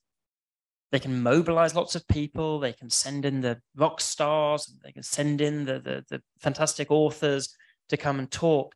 But the problem is then it means that the voice of libraries, which I was talking about badly in, in Polish at the beginning, too often isn't heard because the debate has been taken over, the debate has been, been captured, arguably. And we get to the stage where, for example, I don't know, I said things are seen in almost a, a theological way that the idea of weakening copyright in any way, it's the thin end of the wedge, that it's the beginning of the end of the world, that a single act, a single mistake by a librarian, for example, in placing work online by accident, I, I, know the law, the, the codes of ethics for librarians are pretty clear that that's not what you're supposed to do. Accidents happen. But when that happens and that you sort of cut them down and try and prosecute them and take them to court, that, that's overreaction. That, that's too much. People make mistakes. People make mistakes in other situations. And so we need to move away from this sort of simple like beating each other over the head. Um, so what we need to do rather is to perform that Copernican revolution, to look at the telescope from the correct end, not from the wrong end, and start to think, well, what does that look like? What do we need to get there? Um, crucially, to do that, we need to think, well, who are the stakeholders that need to be involved?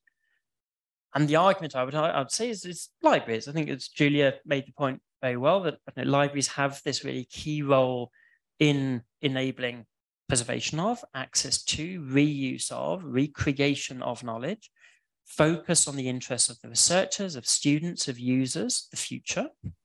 We need to boost that voice. We need to strengthen that voice, make sure that it's properly heard.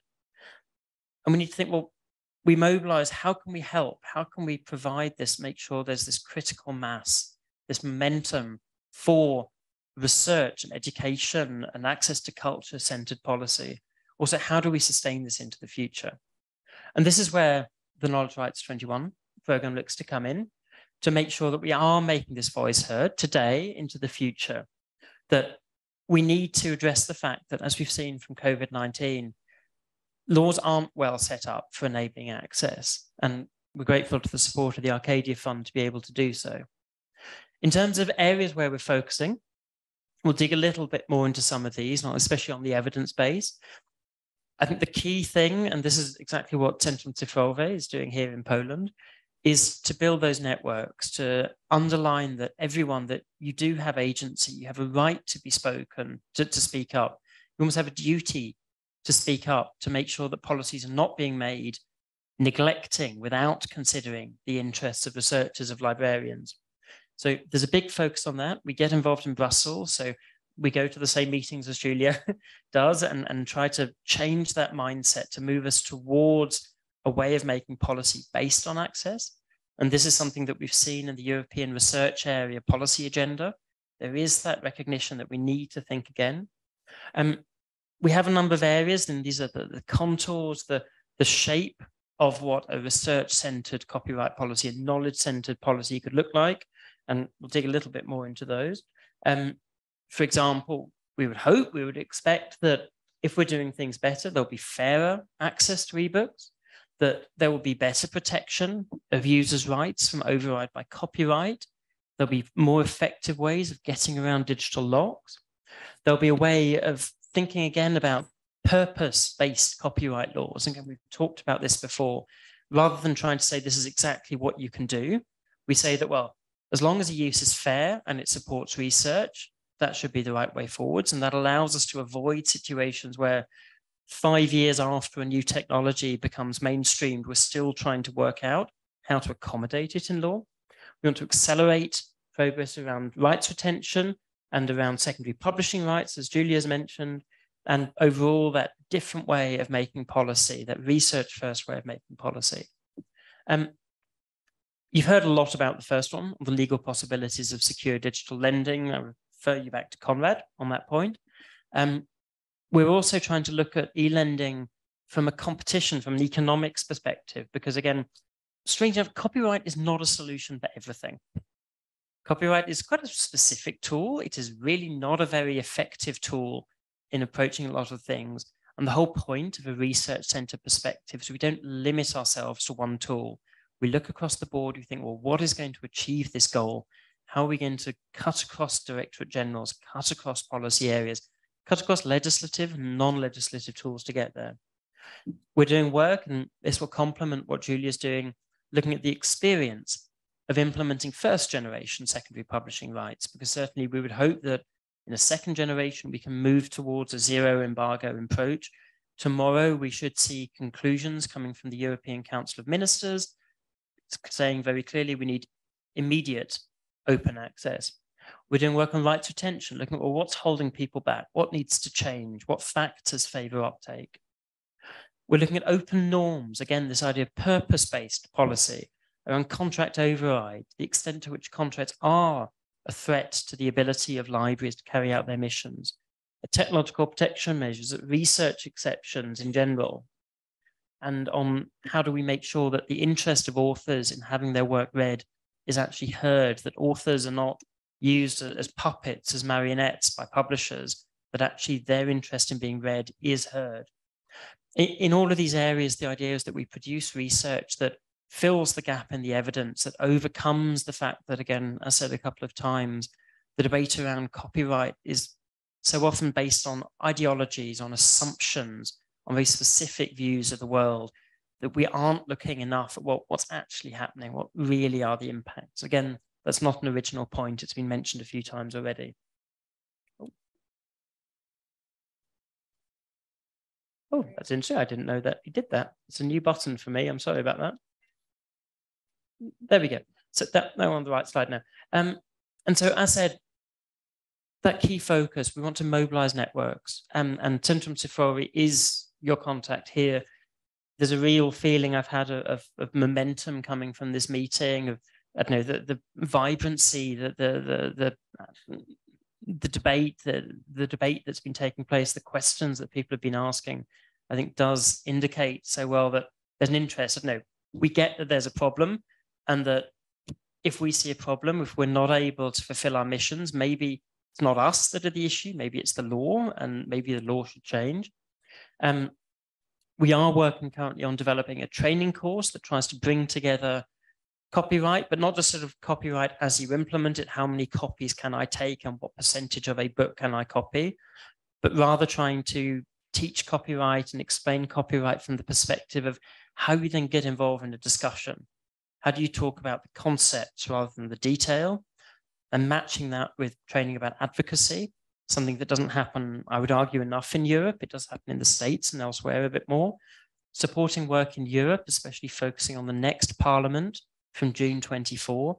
How can we make sure that there's really a mandate to go back to look again at how we do copyright better? And I said, of course, Centrum Cyfrowe are the contact here. But I think just to go back to that really key fundamental point that what we need to do is create sustainable networks. We need to mobilize, we need to make sure that our experience, your experience is valued, is brought to the fore. And so, yeah, it's up to you. We want a copyright that was copyright should orbit around research, education, access to culture, not the other way around. You're the ones who can create this new center of gravity, who can shift the center of gravity. Thank you. Thank you, Stephen. I think by now you should figure out what we are trying to do here in this panel. Just try to uh, really make you feel comfortable in also like becoming active advocate for the cause that you're really in the middle uh, in the middle of. Because you know the the topic best. Um, being, being practitioners, being libra- librarians, archivists, um, curators at museums, you know what your daily struggles are. And of course, the networks, and we are uh, immediately going to jump to another one, can and associations dealing with specific uh, policy teams, they can support that, but we need your voices. And I can only support Stephen's uh, call, use us here in Poland. Uh, uh, we are at your disposal. We'll be happy to convey the message and then act together with knowledge rights, and also Communia.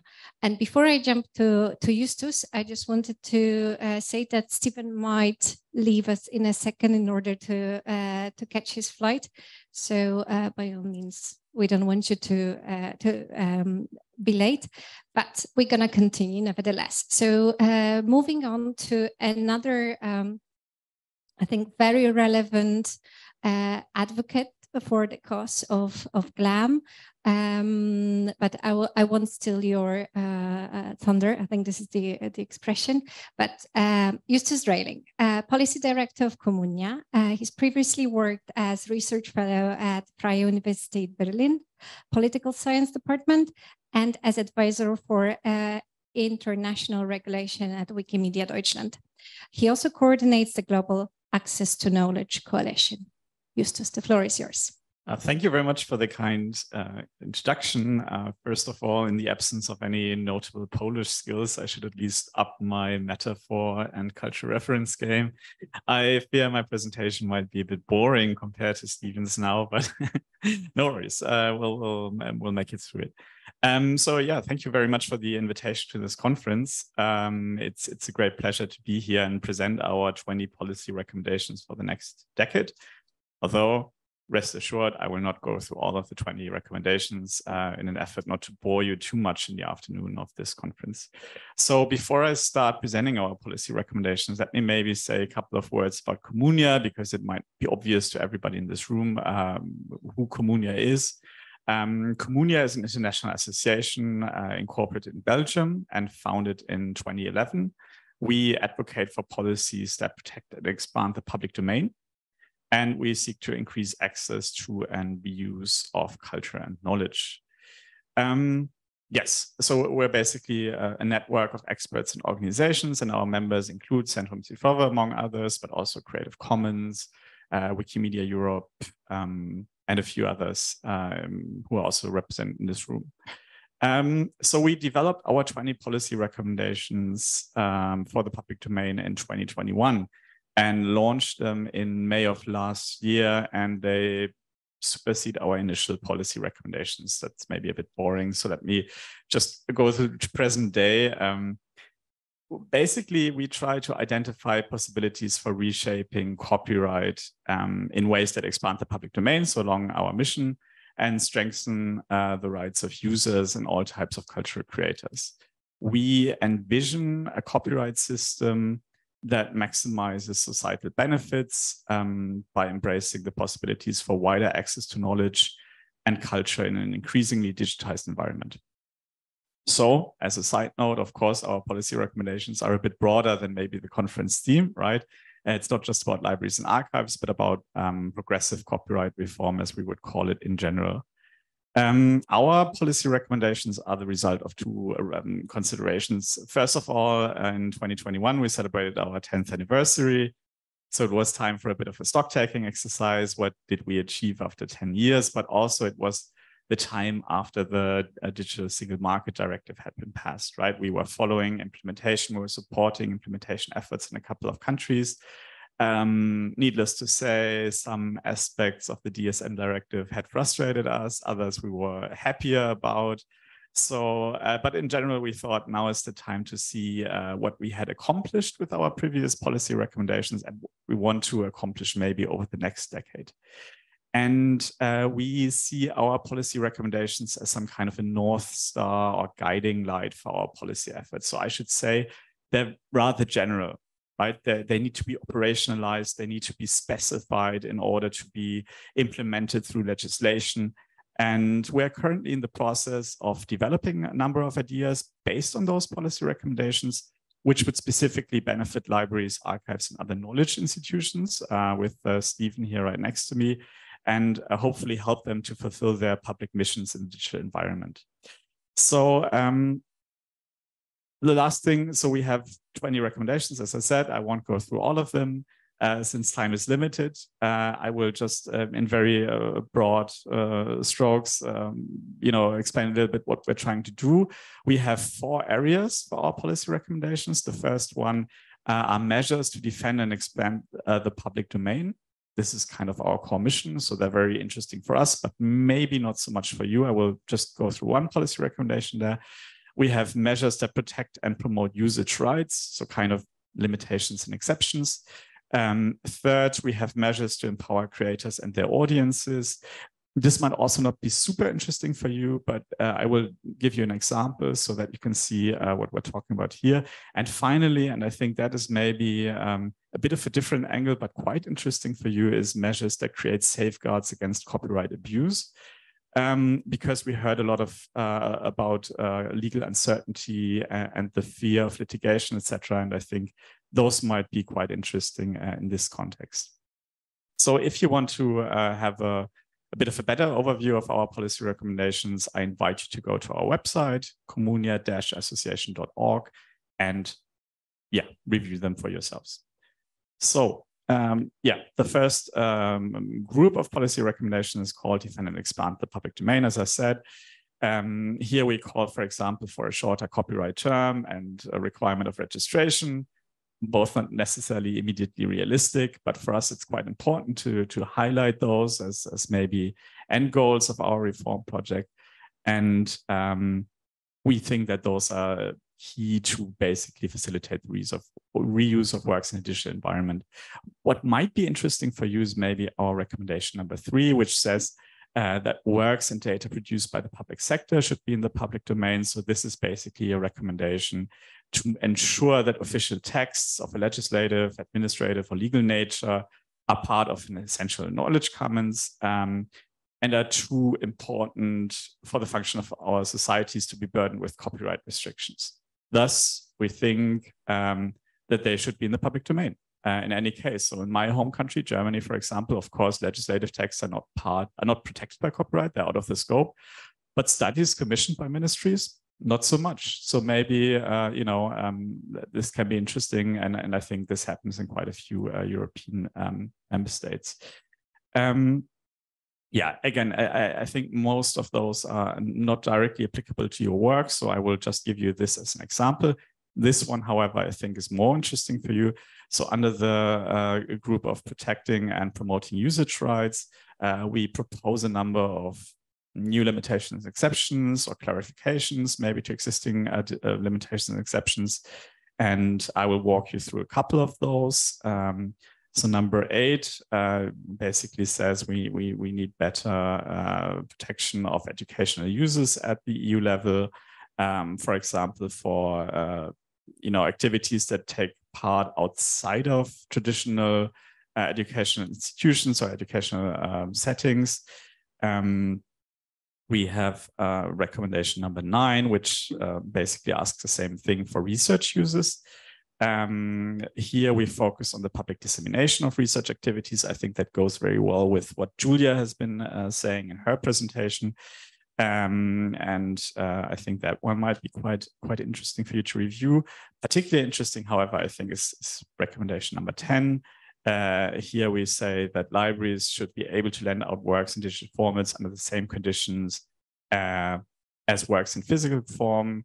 Controlled digital lending or secure digital lending, as, as Konrad would uh, say, should be fully permitted at the EU level.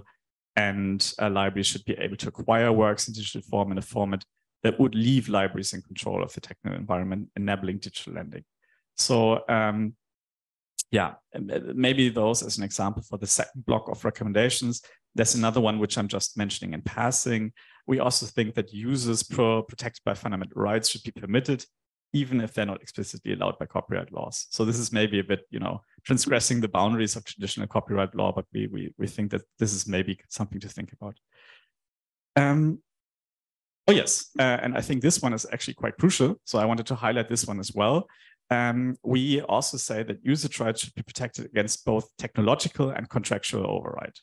So uh, I think we, we've heard this in a couple of presentations today.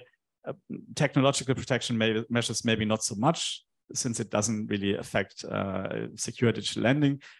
But in other instances of preservation or making available of works, uh, it can be a barrier uh, to the exercise of, of usage rights. Um, so um, we would think that circumvention should at least be facilitated under certain conditions. And in any uh, case, we think uh, that abusive contractual practices should be unenforceable. Um, and I think that connects very nicely to what Giulia has said in her presentation. Thirdly, we have two recommendations uh, in, in, something that is maybe new for us, but we, we want to make sure that copyright actually benefits creators. And uh, I will just mention one uh, of the two recommendations here. We, we, we think that geo-blocking for audiovisual work should be prohibited in Europe.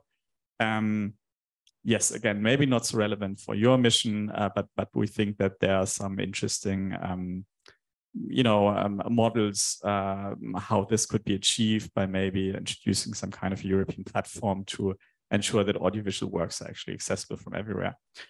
Let me come to the last block uh, to conclude my presentation. So create safeguards against copyright use, because I already said that this could be quite interesting to solve, maybe, maybe not solve, but at least um, help with the issue of um, legal risk and facing uh, potentially, you know, very harmful damages. We think that users who act in a reasonable belief that their uses of copyrighted materials are permitted should not face damages. And I think this particularly uh, applies to institutions where I think often institutions act in a, in a good faith belief. There might be some you know exceptions of course but i think in general institutions act in a good faith belief that their uses of certain works are permitted and thus should not face the the, the risk of, of potentially uh, fatal um, uh, damages uh, and and i think there's some that, that that could be introduced through uh, legislation to really facilitate the exercise of, of fundamental rights and, and usage rights um, yeah, maybe uh, to give you another example of what we have here. Um, yes, uh, number 19. Um, we also think that there should be some access to collective redress mechanisms uh, to protect usage rights. So um, basically, um, we, we should put um, users in a position to assert and defend their rights in court uh, through collective means that doesn't exist currently. So it could be an interesting um, avenue um, to, to facilitate the enforcement of, of uh, usage rights. This wraps up my presentation. Uh, just a, a, last comment, uh, which connects to what Stephen has said. I mean, the, the current election cycle is on, on the downturn. We're expecting elections for next year. This means also new commission, of course. And I think we should really use this opportunity to think about actual legislation. And I think we already do that. And uh, yes, I mean, uh, try to operationalize some of the recommendations that have been put forward on this panel and in, in other panels uh, before us uh, to actually change legislation and improve access to culture. Thank you very much. Uh, thank you very much, Justus. I think uh, Communia's website is really your uh, go-to place if you uh, if you're looking for knowledge to support your actions if you decide to then it's uh, there is also a very active blog um, where bye Stephen. Thank you. Bye Stephen. Everyone waves. Um, so th this is the place where you really uh, can get support, if I may say so. Uh, we are definitely uh, benefiting from that, but this is also a place that uh, really the exchange of knowledge happens. And I think we really, really need that. Same for Knowledge Rights 21. I I know that I'm I'm acting here as a, a salesperson now. uh, but uh, I, I, would say in a in a good cause or for a good cause, uh, because um, I think this is something I, I said when we when we started this day. It's all about being in dialogue, and I think just uh, it's really about being in dialogue with everyone. But the starting point is being with dialogue with the, the right people, uh, just to help you to support your cause, to help you um, kind of understand better the broader context and translate it into your local one. Because uh, to you, I think to us it's the the more uh, most relevant one. Okay, let's get to uh, Denmark. We promised you to uh, to take you on a um, on a journey uh, from a broader European perspective to a national perspective, and that's why we have Michael Christophersen uh, with us. He's a chief consultant at the Digital Public Library of Denmark. He acts as a chief negotiator for the Danish Public Library's e-lending service, e-Rolen. Yeah, okay. Close enough. Close enough. we, we should have practiced. Uh, he's also a project manage- a manager for digitization in lending and digital competence development at the Copenhagen Libraries. Mikkel, over to you. Yes, uh, thank you. Um, I, sh I, should have told you that I also chair the uh, the European uh, Public Libraries National Authorities Expert Group on e-lending. That's not your fault. Um, so first and foremost, uh, thanks for inviting me to Krakow. I was there on holiday in 2016, and the city is even more beautiful than I remember. So thanks for that. Um, I told Stephen this morning over breakfast in the hotel that uh, I always feel a little intimidated when I'm around so many experts on, on copyright. Uh, copyright to the lay person is, is a bit like black magic, I think, uh, and it just it destroys everything you try to do. Um, but, and then he said, but, but on the other hand, you have helped build something that really, really works almost in spite of copyright. So uh, that's interesting too. So this is why I'm talking to you today. Uh, and uh, the introduction to our national e-lending platform, e it takes about three hours. Uh, so I have boiled it down to one specific point today, uh, which is where publishers and uh, public libraries have an overlap of interest and how we have used this to mutual benefit, I think. Um, first, I need to introduce uh, e-reolen. E-reolen. uh, it means the e-book case, so don't try and pronounce the Danish one. I'll, and, and I won't try and pronounce Polish things.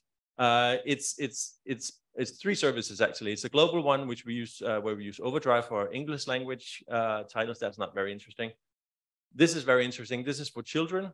Uh, so this is everything we have on our national platform uh, but uh, in a front end for children. And we have uh, lent children 1.4 million books last year.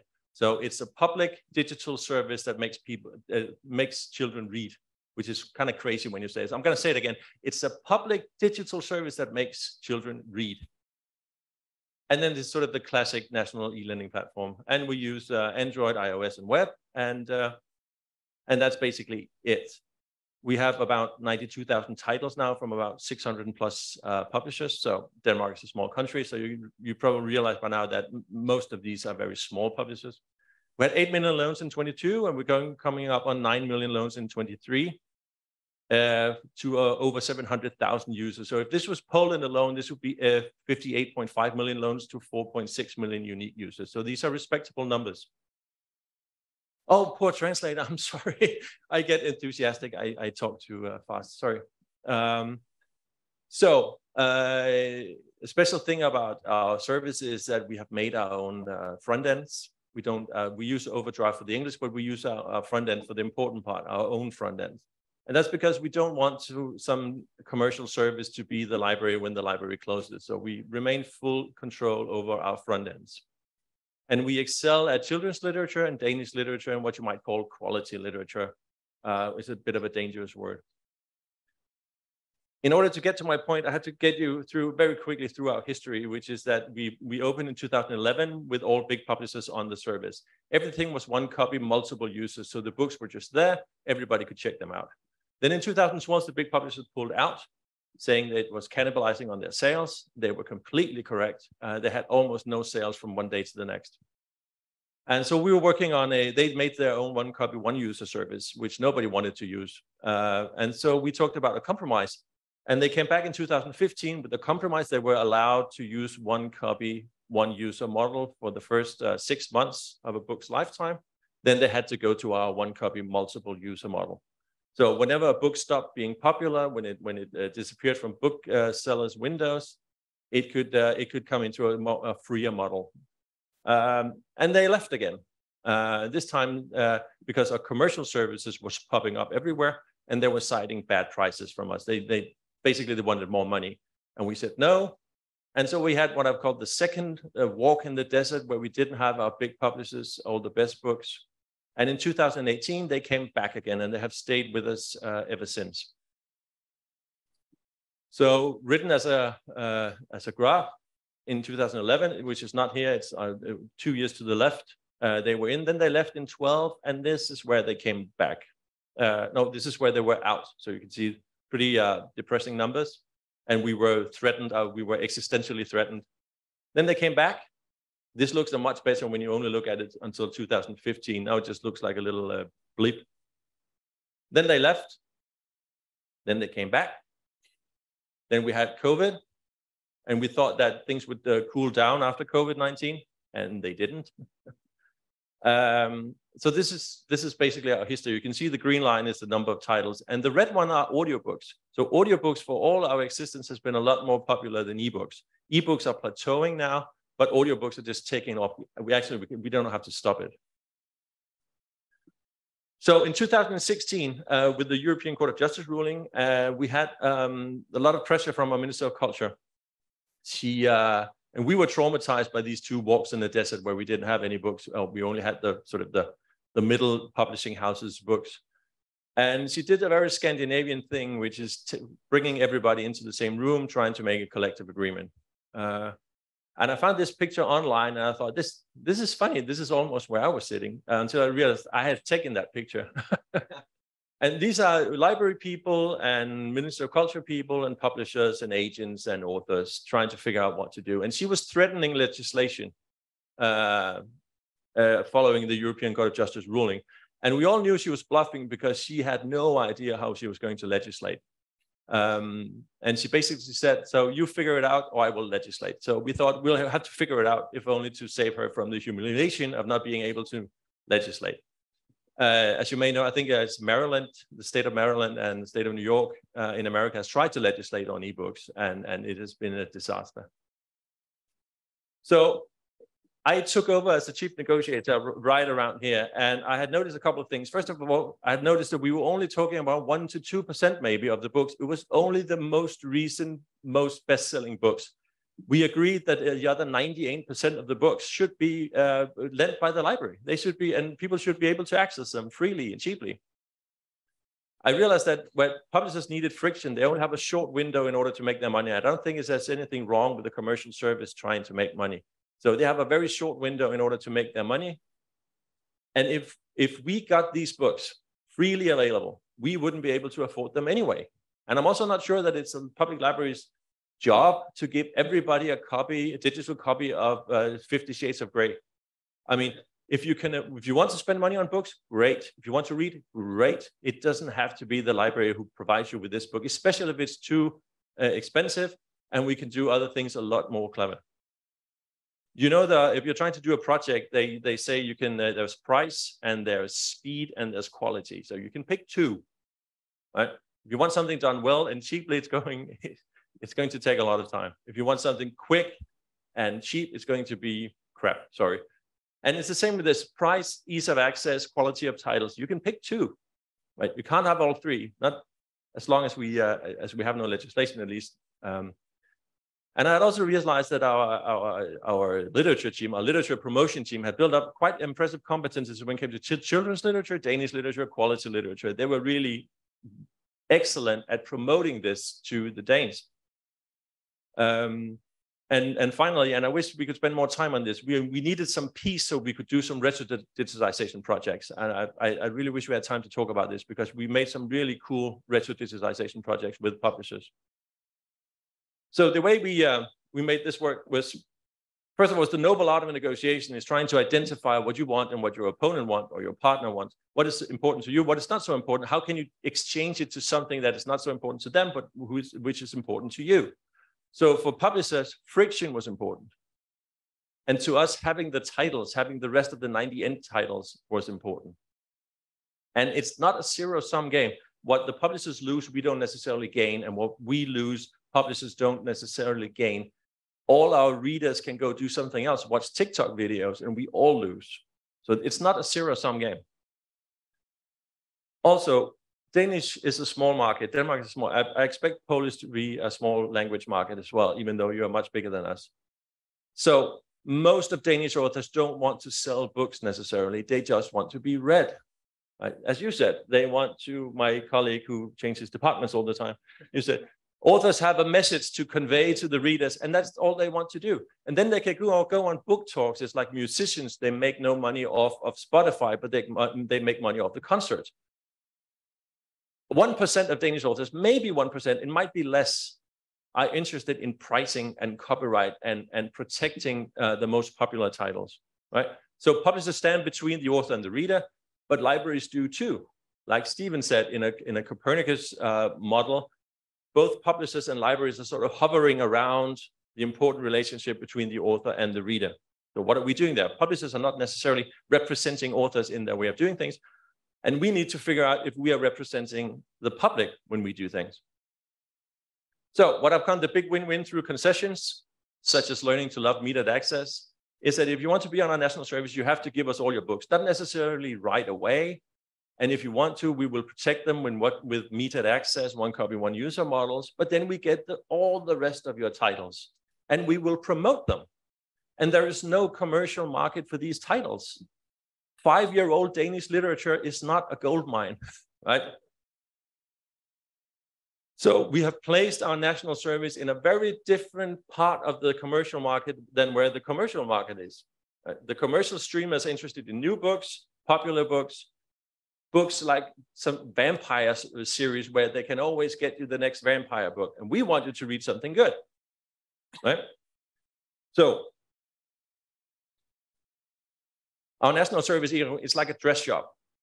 We have realized that in order to get people into the shop, we need these fancy titles in the window, but then we make it hard to get to them. But then people are in the shop and then they take up something else. They will loan something else. They will borrow something else. If we don't have them, when we take these principal fights with our publishers and we don't have the fancy dresses in the windows, people don't even come into the shop. Now, the two biggest uh, publishers in Denmark realized this and they made two completely different decisions. One of them said, when people use the library service, they can't get to our books because we have friction. That's what we wanted. And then they will buy the books. Okay, no, they won't. It turns out they will just check out something else. So we don't want to be there. We want to retain the value of these popular books. And the other one said, okay, so people come in for the popular titles and they can't get to them. Then they pick up something else. So we should make sure that they got tens of thousands of other books to pick up that we can't sell anywhere else. So our, our collaboration, our relationship with publishers is so good now that they're actually writing literary articles on our service, on our platforms. They're promoting their, their literature on the library platform. And does this work? Yes, it does. If you look at this is my colleague from EBLIDA who made this. I'm sorry about the blue uh, columns. Uh, they haven't been formatted right. But you can see that uh, Denmark has 1.2 in 2021, had 1.2 loans per inhabitant per, um, per cap. Uh, and France, for instance, they have less than a percent of that. Uh, Greece even less, and so on.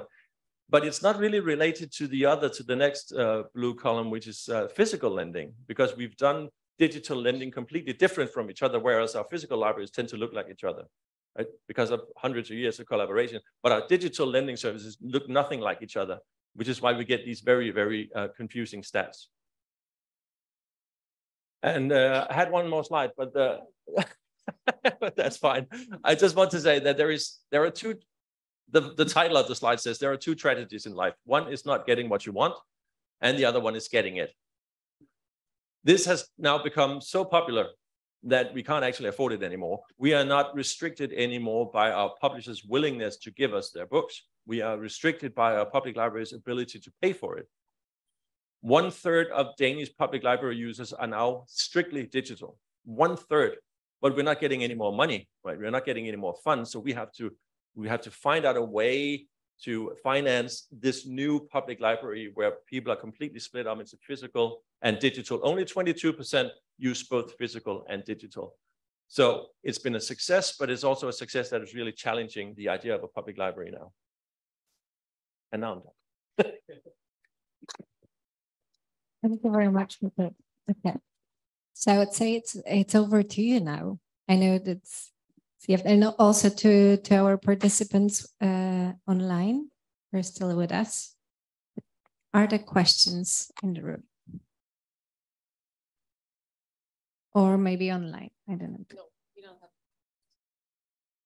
Okay, then um, I wanted to ask, I, I can go first. Then it, it would be, I think, to all of you to ask about like very practical hints. You're all um, very um, advanced and skilled in doing advocacy and, and policy work and experience in the field.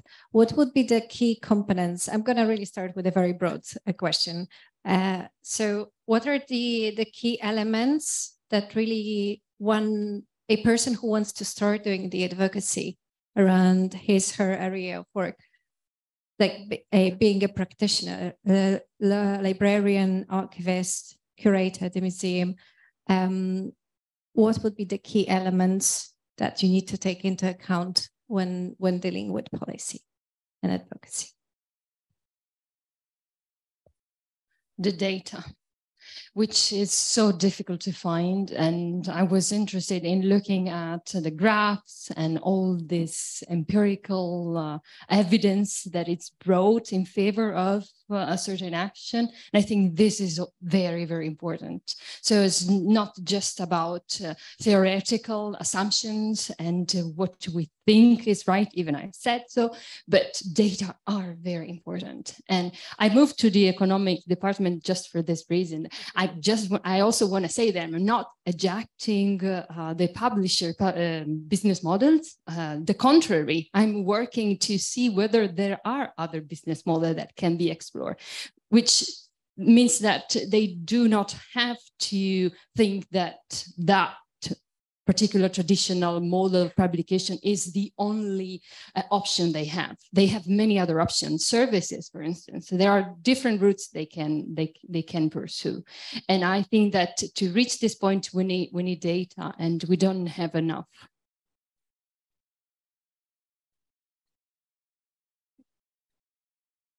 I think you're in an excellent position because you have the testimony that you know you know what you experience on a daily basis is relevant. And then you only need to translate this into something which is maybe a bit more abstract and makes sense in terms of legislation. So I, I, think that part is really crucial kind of transforming your daily experience into something that could be then implemented as a law and then maybe a second really important factor i think is framing so coming up with a good wording for what you need, maybe, you know, what is missing or, uh, you know, what the solution would be.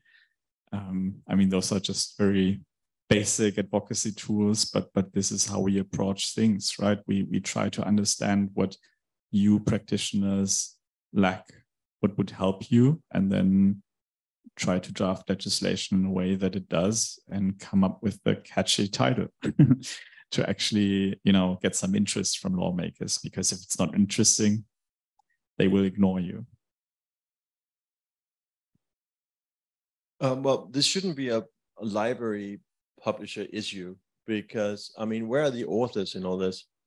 Do, do Polish authors just buy into the notion that their books should not be available through the digital library? I mean, what, what, what do they stand to gain? Don't they want readers? That's a question for you. Oh, I think then it's a question to where are you? Ah, okay. So, so the, the author's representative is no longer in the room, but from what I remember from what you were saying, I think it is uh, uh, absolutely about, I'm not an author myself, but it's absolutely about uh, having access to the books, but it's also very relevant about the conditions how this access is being provided. And I think like, um, yeah, this is my understanding of, uh, of uh, our experts' words was that there is a bit of this um, feeling of not being part of a conversation, indeed. Then coming back to you, how is it in Denmark? Well, it, well, the authors actually uh, have been very good, uh, helped by the Authors Association in retaining their digital rights rather than just giving it up to their publishers. Uh, and as, as, now all the commercial services which were uh, supposed to, uh, the, the, the reason the publisher said in 2015, we are we are working for you, dear authors. We are protecting your prices. We are protecting your value by not just letting loose through the library service and we're giving your titles to the commercial services because that's going to be great. And now they are being paid. A, a children's book, uh, when a customer reads it, it gets uh, three Polish zloty there thereabouts if it's a short children's book. So nobody can live off it anyway. The library actually pays better.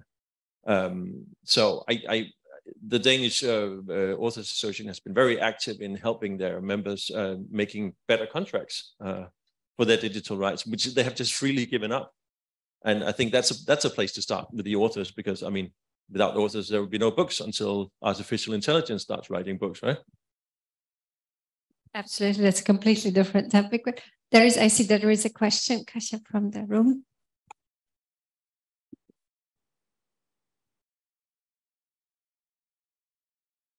Ja się zastanawiam, czy są dane. I wonder, I wonder I wonder if there is any data concerning the decrease of the profits of publishers uh, at times when they cooperated with you and when times that they did not. So what, how does your activity correlate to the profits made by the authors?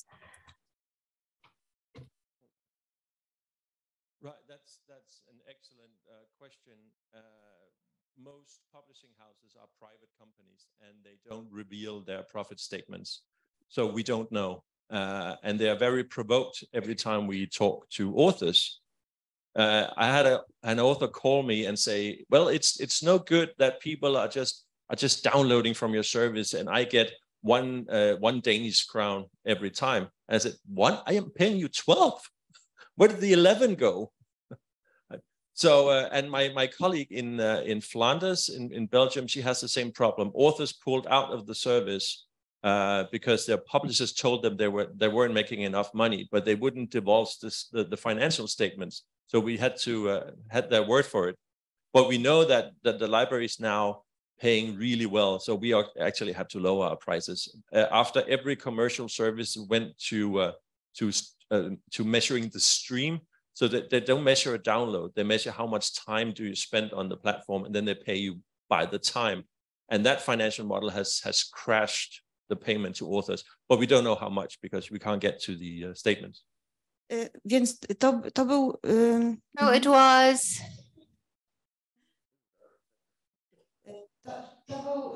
This was the reason why they returned because uh, so you they could see that the users spent a lot of time on your website. So why why so many changes? I don't know. Yeah the reason the reason they came back again in 2018 is that in 2015 there was one big digital publisher who actually stayed. This was the one who realized oh this is going to be a gold mine and and and so the other big publishers after a couple of years they saw that they were running away with the with the entire market so they had to come back uh, so that was the reason. So it was the digital publishing house who realized what an opportunity the library was in order to promote all this all this back catalog. This was the reason why they came back. Uh, u nas jest jeszcze in our case, the situation also concerns the existence of the books in illegal places, on illegal websites. In Denmark, it is not the case because you are honest. And this is a strong argument for libraries to act because those books are available anyway. And if they are copied and downloaded uh, illegally, there is no control of publishers and of authors, and they do not earn anything from it. Yeah,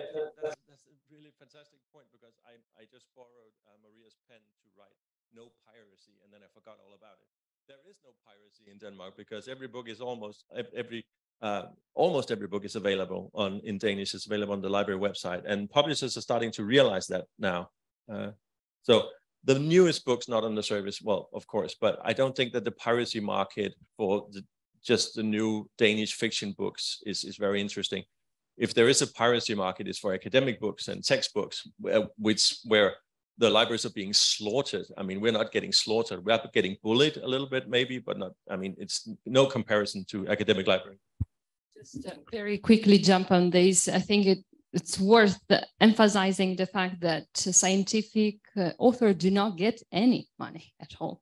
So in this case, uh, we are talking about a very specific situation where we are paid by the public, uh, but then our research does not go to the public. On the contrary, the public has to pay again to read it. So it's really so different from the commercial publishing sector that really deserve a different treatment. And all the arguments that we are saying and making about commercial publishing do not really apply to scientific publication. That's really a problem. I just wanted to, sorry, uh, I just wanted to briefly add that I think this is an excellent question because we also have a recommendation in our blog on empowering creators and their audiences that creators should know their audience, should have a right to know their audiences, because then obviously the whole kind of mess with people not knowing who extracts how much money from a business, platforms, publishers, etc., uh, which also cuts both ways. I think. I mean, consumers don't know, you know, who's getting paid how much. Libraries don't know necessarily, uh, and and creators um, even less so. So I think uh, this is quite a crucial uh, recommendation here. I should have maybe included that one instead of the audiovisual one. So maybe uh, just wanted to remark this. Yeah, I think this. Thank you for this. I think this has to be our closing remark, but I think it's good to finish on the people and their interests and uh, exactly the connections between them and the understanding and the, the need of this understanding between um, all parties involved, all stakeholders involved, and uh, how their interests are being represented or not really represented or taken into account when um, when systems are being created. Uh, thank you very much for joining. Um, please join me in in, uh, in applauding our uh, great speakers. okay, and now we're going to smoothly jump to the final session. Uh, we thought it would be um, useful. Uh, ah, this this is your final slide. sorry, um, sorry, the afternoon session. So we thought it would be good to um, to finish this very busy and intense day. And thank you for for staying with us this long. Uh, with the with a round of um, immediate feedbacks from our colleagues, uh, also from Knowledge Rights 21. As you know, we we uh, think Stephen um, introduced the kind of the, the, the operational model of Knowledge Rights 21, and it the the program is built uh, also by a network of experts coming from uh, different European states. Uh, we are acting as national coordinators, and today, so we uh, in uh, in Poland we have a pleasure of being one for for Poland, uh, and today we are also joined by Deborah De Angelis, among other things, is a uh, knowledge rights coordinator uh, in Italy, uh, Anna Lazarova in Bulgaria, and, and Jurgis um, even, and I'm probably mispronouncing the name, uh, in, in Latvia. Uh, before I, I, give the floor to you, I will give a bit more kind of insights of who you are, apart from being a Knowledge Rights 21 um, uh, local co national coordinators, starting with, uh, with Anna. Uh, Anna is a practicing lawyer and a lecturer in intellectual property law at Sofia University uh, in Bulgaria. She is involved in digital rights uh, advocacy as part of uh, the Bulgarian Association Digital Republic, and in recent years has been working on copyright policies in connection to EU copyright reform, reform and its implementation at the national level. I'm going to make a stop here.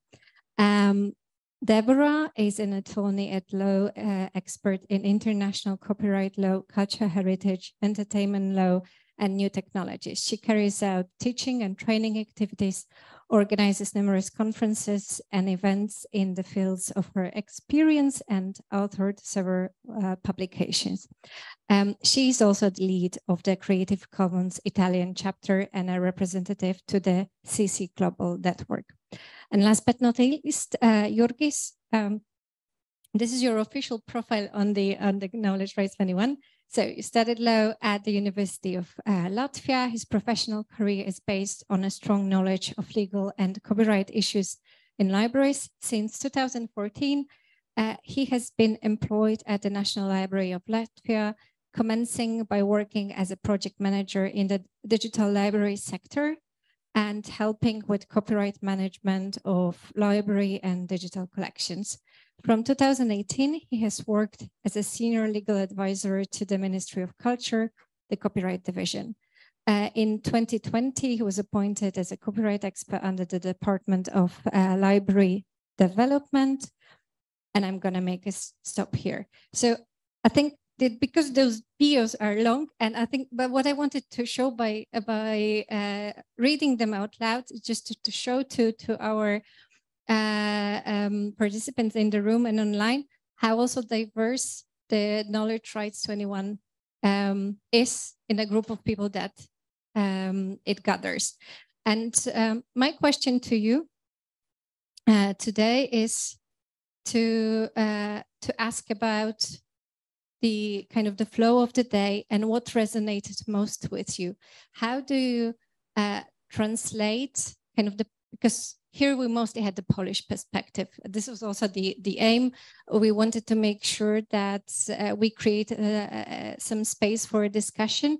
But we have a feeling, and I think also to given our discussions under the Knowledge 21 umbrella, that there are things that resonate, uh, that uh, or can be differently addressed, or there is already a solution that has been offered in a different setup in your national setups. So um, I think I'm going to stop here. And Deborah, I'm going to start with you, if I may.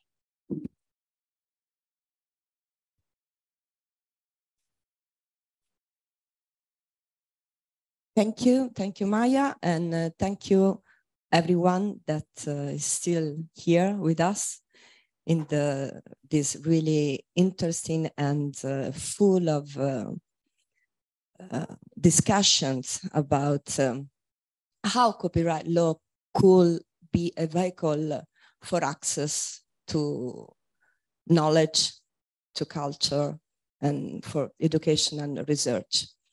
And thank you for having me here. Um, I think that uh, we have uh, a really crucial and challenging role uh, to summarize the most uh, relevant part of the conference and the discussion. And what I notice is that uh, the, the issues that we are discussing as an universal nature, uh, since we are facing the same struggle to guarantee access to knowledge for education, research, and culture. Um, for example, the question and challenges that uh, we encounter uh, by today in Poland regarding the implementation of exception and limitation to copyright uh, are the same that I have faced in my country. Uh, this includes difficulties uh, in uh, applying, for example, lending to e-lendings and um, this is also regarding secondary publishing rights, right to retention, and the protection of the public domain.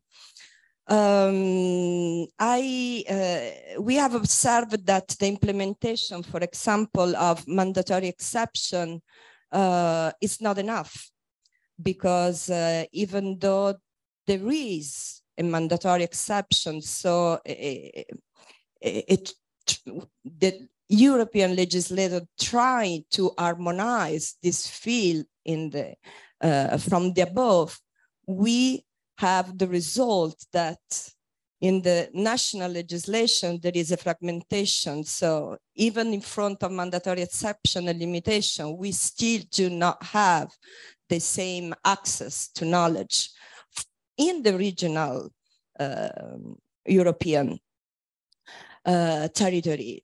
So maybe what we can do as a national coordinator for um, Knowledge Right 21 um, regarding, for example, the secondary publishing right, it is, could be to draft something that could be uniform to present in front of our national legislator. At least we can achieve and we can have more power for bargaining the uh, implementation that we would like to achieve because we, we, we noticed that the tools of the directive is not the right tools to achieve the harmonizations and that we would like to, to have.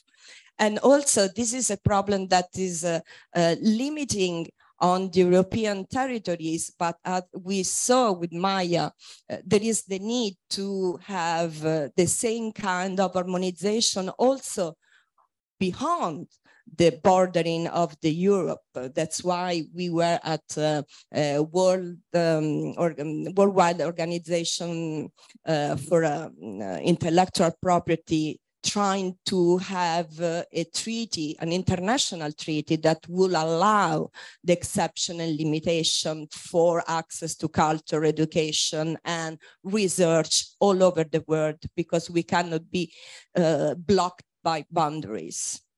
I stop here. I um, I'll try to be short. Um, I'm a practitioner, so I heard some things that's uh, the same in Latvia. We have the same issues. First thing, ebook lending. Our law also uh, allows us to lend books, and authors can get money for this. But there is some different story about ebooks uh, not because of legislation, but because of publishers. Uh, we have a law uh, of legal uh, deposits that every, every publisher sh should give as book as books. So what about ebooks? Publishers send us link with access to ebook and we cannot download it. So we cannot storage it and we cannot give it uh, further to our readers. If we have some ebooks, uh, 99% is these ebooks we got by license, by contract with uh, publishers. So we uh, bought these books and we have signed papers that we can give it to 10 people or two people in our uh, only in our library. Next uh, level of access for ebooks is uh, public access in all Latvia. But in this case also, there's uh, some publishers that agreed to sign contract, they gave us uh, access to links that we can give to our clients and like we uh, clients can read 10 times per month, they can read some ebook. Again, our hands are tied, we cannot do anything. Problem is that we don't get this physical data of ebooks that we can lend out for our readers. Uh, why it is so, I don't know, because authors organiz organization doesn't mind that we give uh, books. Authors are happy that we give and they get money as for all the books. But publishers are problem in Latvia and maybe they should talk with Denmark. As we heard, Denmark has great experience with e-book lending. Uh, one important thing is not only that these books cannot be accessible uh, by people, but we cannot preserve them to uh, next generations. These books are lost actually because uh, it happens frequently that publisher bankrupt uh, gets bankrupted or just liquidated, uh, destroyed or something like that, and these books just dis disappear because they're not in our archives. Many uh, big publishers are coming to us frequently asking for some books that they want to create again because they don't have these books. And with ebooks, it's it's over. And one more thing, uh, new reality has shown us that we should make copies of, of everything and store them somewhere else. Uh, we had re recently visit from Ukrainian colleagues and their experience is that in some parts of Ukraine, all cities are razed, libraries are razed, museums are razed, and there's nothing left, totally nothing. Everything what, what was in this building is destroyed. So it's very important to make digital copies of everything and make copies for our future generations. That about ebooks. Uh, one more thing, can I? Yeah. Uh, I heard one uh, good thing uh, from practitioners, uh, book covers. There was some emotions in the in auditorium. Uh, this is a question I get frequently for our librarians, what we can do with book covers. As lawyer, I should say we cannot uh, publish them. They are copyright protected works, especially if there's some uh, nice painting on this uh, book cover. Uh, our copyright organizations think that we should pay even for uh, library catalogs where, where we have these small uh, pictures of books. And as I know, our museums of culture and archives already are paying for their catalogs where they have small pictures of paintings. And after uh, half a month, I had I will have meeting with copyright organization, and it looks like we will have to pay too. But uh, usually librarians ask us about not catalogs, but about their Facebook pages, about web pages, where they want to uh, advertise those new works. Uh, this is a little bit different. Uh, publishers usually usually know about this, but they don't mind that we are doing so. So I I'm just saying, uh, put in these pictures of new books, but don't make one-to-one -one copy. Uh, put this book on the table with other few books, make a picture and say, we have new books about this and this and this. So you don't have to make a direct copy of, of this book cover. You make it uh, as some few objects of new things that you have. So shortly, that's most important what I caught. Uh, hello. Um, first of all, congratulations to uh, to Centrum Cyfrowe, to the Jagiellonian University and the team of organizers for uh, organizing this wonderful event. Um, it's really a challenging task to summarize uh, everything that I am taking from uh, this conference home, uh, especially given that everyone is very tired already. Um, but I uh, took a lot of notes and I'll be using them because Bulgaria, like Poland, is one of the uh, very few countries left uh, that have to yet that are yet to implement the CDSM directive. so uh, it also gives us, I think, a great opportunity to uh, implement some of the mechanisms that we have been discussing today. Right? Um, now, there were a lot of very important topics uh, uh that were discussed today. Uh, I am very passionate, for instance, about exceptions. Uh, can talk a lot about the way they were not exactly harmonized and um, the current state of, as uh, Professor Sganga put it, extreme uh, fragmentation of copyright exceptions and limitations in the European Union. Uh, the fact that uh, this was not remedied by the CDSM directive, um, even in some cases, these problems were exacerbated, like for instance, with the teaching, digital teaching exception. Uh, now in uh, a lot of countries, we have a, like a double regime with two exceptions that uh, um, overlap in some way. Also, uh, in our legislative proposal for the implementation of the directive, we also have problems with the out of commerce works mechanism. It's not detailed at all. Uh, the legislator counts on uh, libraries to clear all these issues with CMOs, which is very problematic, I'd say. They're yes.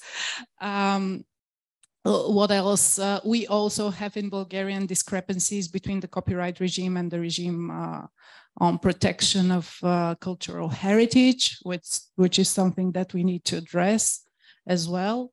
Uh, I will just focus on e-lending in order to be brief. so in Bulgaria, we have a technology neutral provision. So um, technically, libraries are allowed to e-lend. Uh, however, uh, the law, the, the legal provision is, is structured like like in the rental and lending directive. First, we have this general um, public lending right to remuneration. But then we also have an exemption uh, for some of the actors uh, who are able to lend with no remuneration. The problem is that most of the libraries are exempted from remuneration. I mean, it's not a problem for libraries, of course, uh, but uh, giving the interpretation of the Court of Justice in the VOB case, uh, the court says that uh, uh, it is necessary to remunerate authors in order not to um, not to prejudice uh, uh, unreasonably their legitimate interests, which means that in our current case in Bulgaria, e-lending would probably not um, not meet the criteria of the three-step test. And in any case, no e-lending is going on at all. Even though uh, libraries may have this legal opportunity in practice, first of all, publishers are refusing to sell ebooks to, to libraries. And second of all, I, I think that libraries are not fully aware of the scope of their faculties under the law. Uh, concerning the um, digitization of uh, copies for the purpose of e-lending, uh, I also agree with, with the conclusions of your report that uh, we can use the joint inter interpretation of the Ulmer decision and the VOB decision in order to uh, be able to digitize copies and then lend them. Uh, and it's a viable option. just to be conscious of something that the VOB decision says. Uh, in, uh, in paragraph 64, the decision says that member states may require that a digital copy of a book subject to such lending must have first been put into circulation by the rights holder or with his consent, which can limit a bit this mechanism. So it's also our uh, job, in my opinion, to uh, prevent such uh, additional requirements to appear in the in the national law. Uh, and uh, finally, notwithstanding the legal regime, there are, of course, practical issues uh, concerning e-lending by libraries. First, it was mentioned that libraries have no sufficient resources to secure e-lending. Uh, as far as I'm aware, in Bulgaria, some publishers don't secure their uh, copy, the copies that they sell to the ebooks that they sell to the general public at all. So it, it should really fall on the library to, to take care of this, which is an enormous uh, obligation. Then uh, concerning risk management, because we were talking about the appetite for, uh, for risk, um, we are all aware that uh, librarian professionals are not uh, really keen on engaging in risky behavior. Let's say it's not exactly, I wouldn't say risky behavior, more, more exploring the full scope of the opportunities that the law provides them, right? Uh, uh, because of, uh, of the cost of uh, litigation, but also libraries are not keen on taking legal measures against, for example, publishers when, when publishers refuse to sell them ebooks. Um, and, and this is quite uh, understandable. You know, we all know that uh, libraries in, in most of the countries, maybe not in Denmark, but in most countries, libraries are chronically underfunded, right? And this is the situation in Bulgaria is certainly a similar one. Uh, and here is the role of non-governmental organization, of the non-governmental sector, in my opinion, and of programs like Knowledge Rights 21 to support library professionals in these endeavors. Uh, there are a lot of organizations currently that uh, provide uh, including financial support for strategic litigation. And this is something that uh, should be explored, in my opinion. And not only strategic litigation, but also trainings in order for uh, librarians to, to uh, make use of all the resources that the law has already given them. Uh, and of course, the main challenges it was discussed in the last panel, uh, in my opinion, is that on national level in most countries, uh, but as uh, Stephen said, uh, this is the situation also on EU level. Uh, traditionally, uh, copyright policies are focused on the interest of copyright holders and public interest users are not or are rarely recognized as stakeholders in this process. And this is something that we, we need to change. Uh, I'll be uh, ending here not to, uh, in order not to bore you. Thank you very much once more for uh, the invitation. And um, I, I, guess we could continue the discussion after the, the conference. Thank you. Thank you, Anna. Thank you, Deborah and Jurgis. Uh, thank you for uh, basically uh, doing my job and summarizing the whole day. I think the the only um, aspect I can add, add is that, Mikael, we are go all going to Denmark. We are all moving to Denmark, but actually we can't. So this means that we need to keep on working. And this is, again, an invitation from our side and uh, to Knowledge uh, Rights 21 to, to join all of us uh, to Communia, to all the networks, but also to just start or continue actually, because I think many of you and also um, those joining online, you are already part of uh, discussions. But I think uh, my biggest takeaway from today is that uh, we need to be louder. And I think I'm gonna I'm gonna stop it he uh, here. Um, I'm so happy with the time we made it. So without a delay, uh, five minutes, I'm to stand up just to uh, briefly say thank you to everyone. First of all, to you staying with us uh, the whole day and to those of you uh, still uh, with us online. Uh, we really appreciate you, your presence and being part of this discussion. Thank you to all the speakers. thank you for sharing your knowledge, your expertise with us. Thank you to the uh, interpreters. I think a big uh, round of applause. You know, copyright translated, it's not that easy. Uh, thank you to our technical team support. Uh, we couldn't have done uh, without you. And um, I think last but not least, but I, okay. I see Conrad, but I don't see, yeah, uh, to my team, to, to my team at Centrum Cyfrowe and to the, the our uh, friends and colleagues at uh, Jagiellonian University for uh, for making this, turning this idea uh, into reality. We uh, we really enjoyed it, enjoyed it a lot, and uh, to us this is step one of many. So thank you. And I don't know why I was speaking English.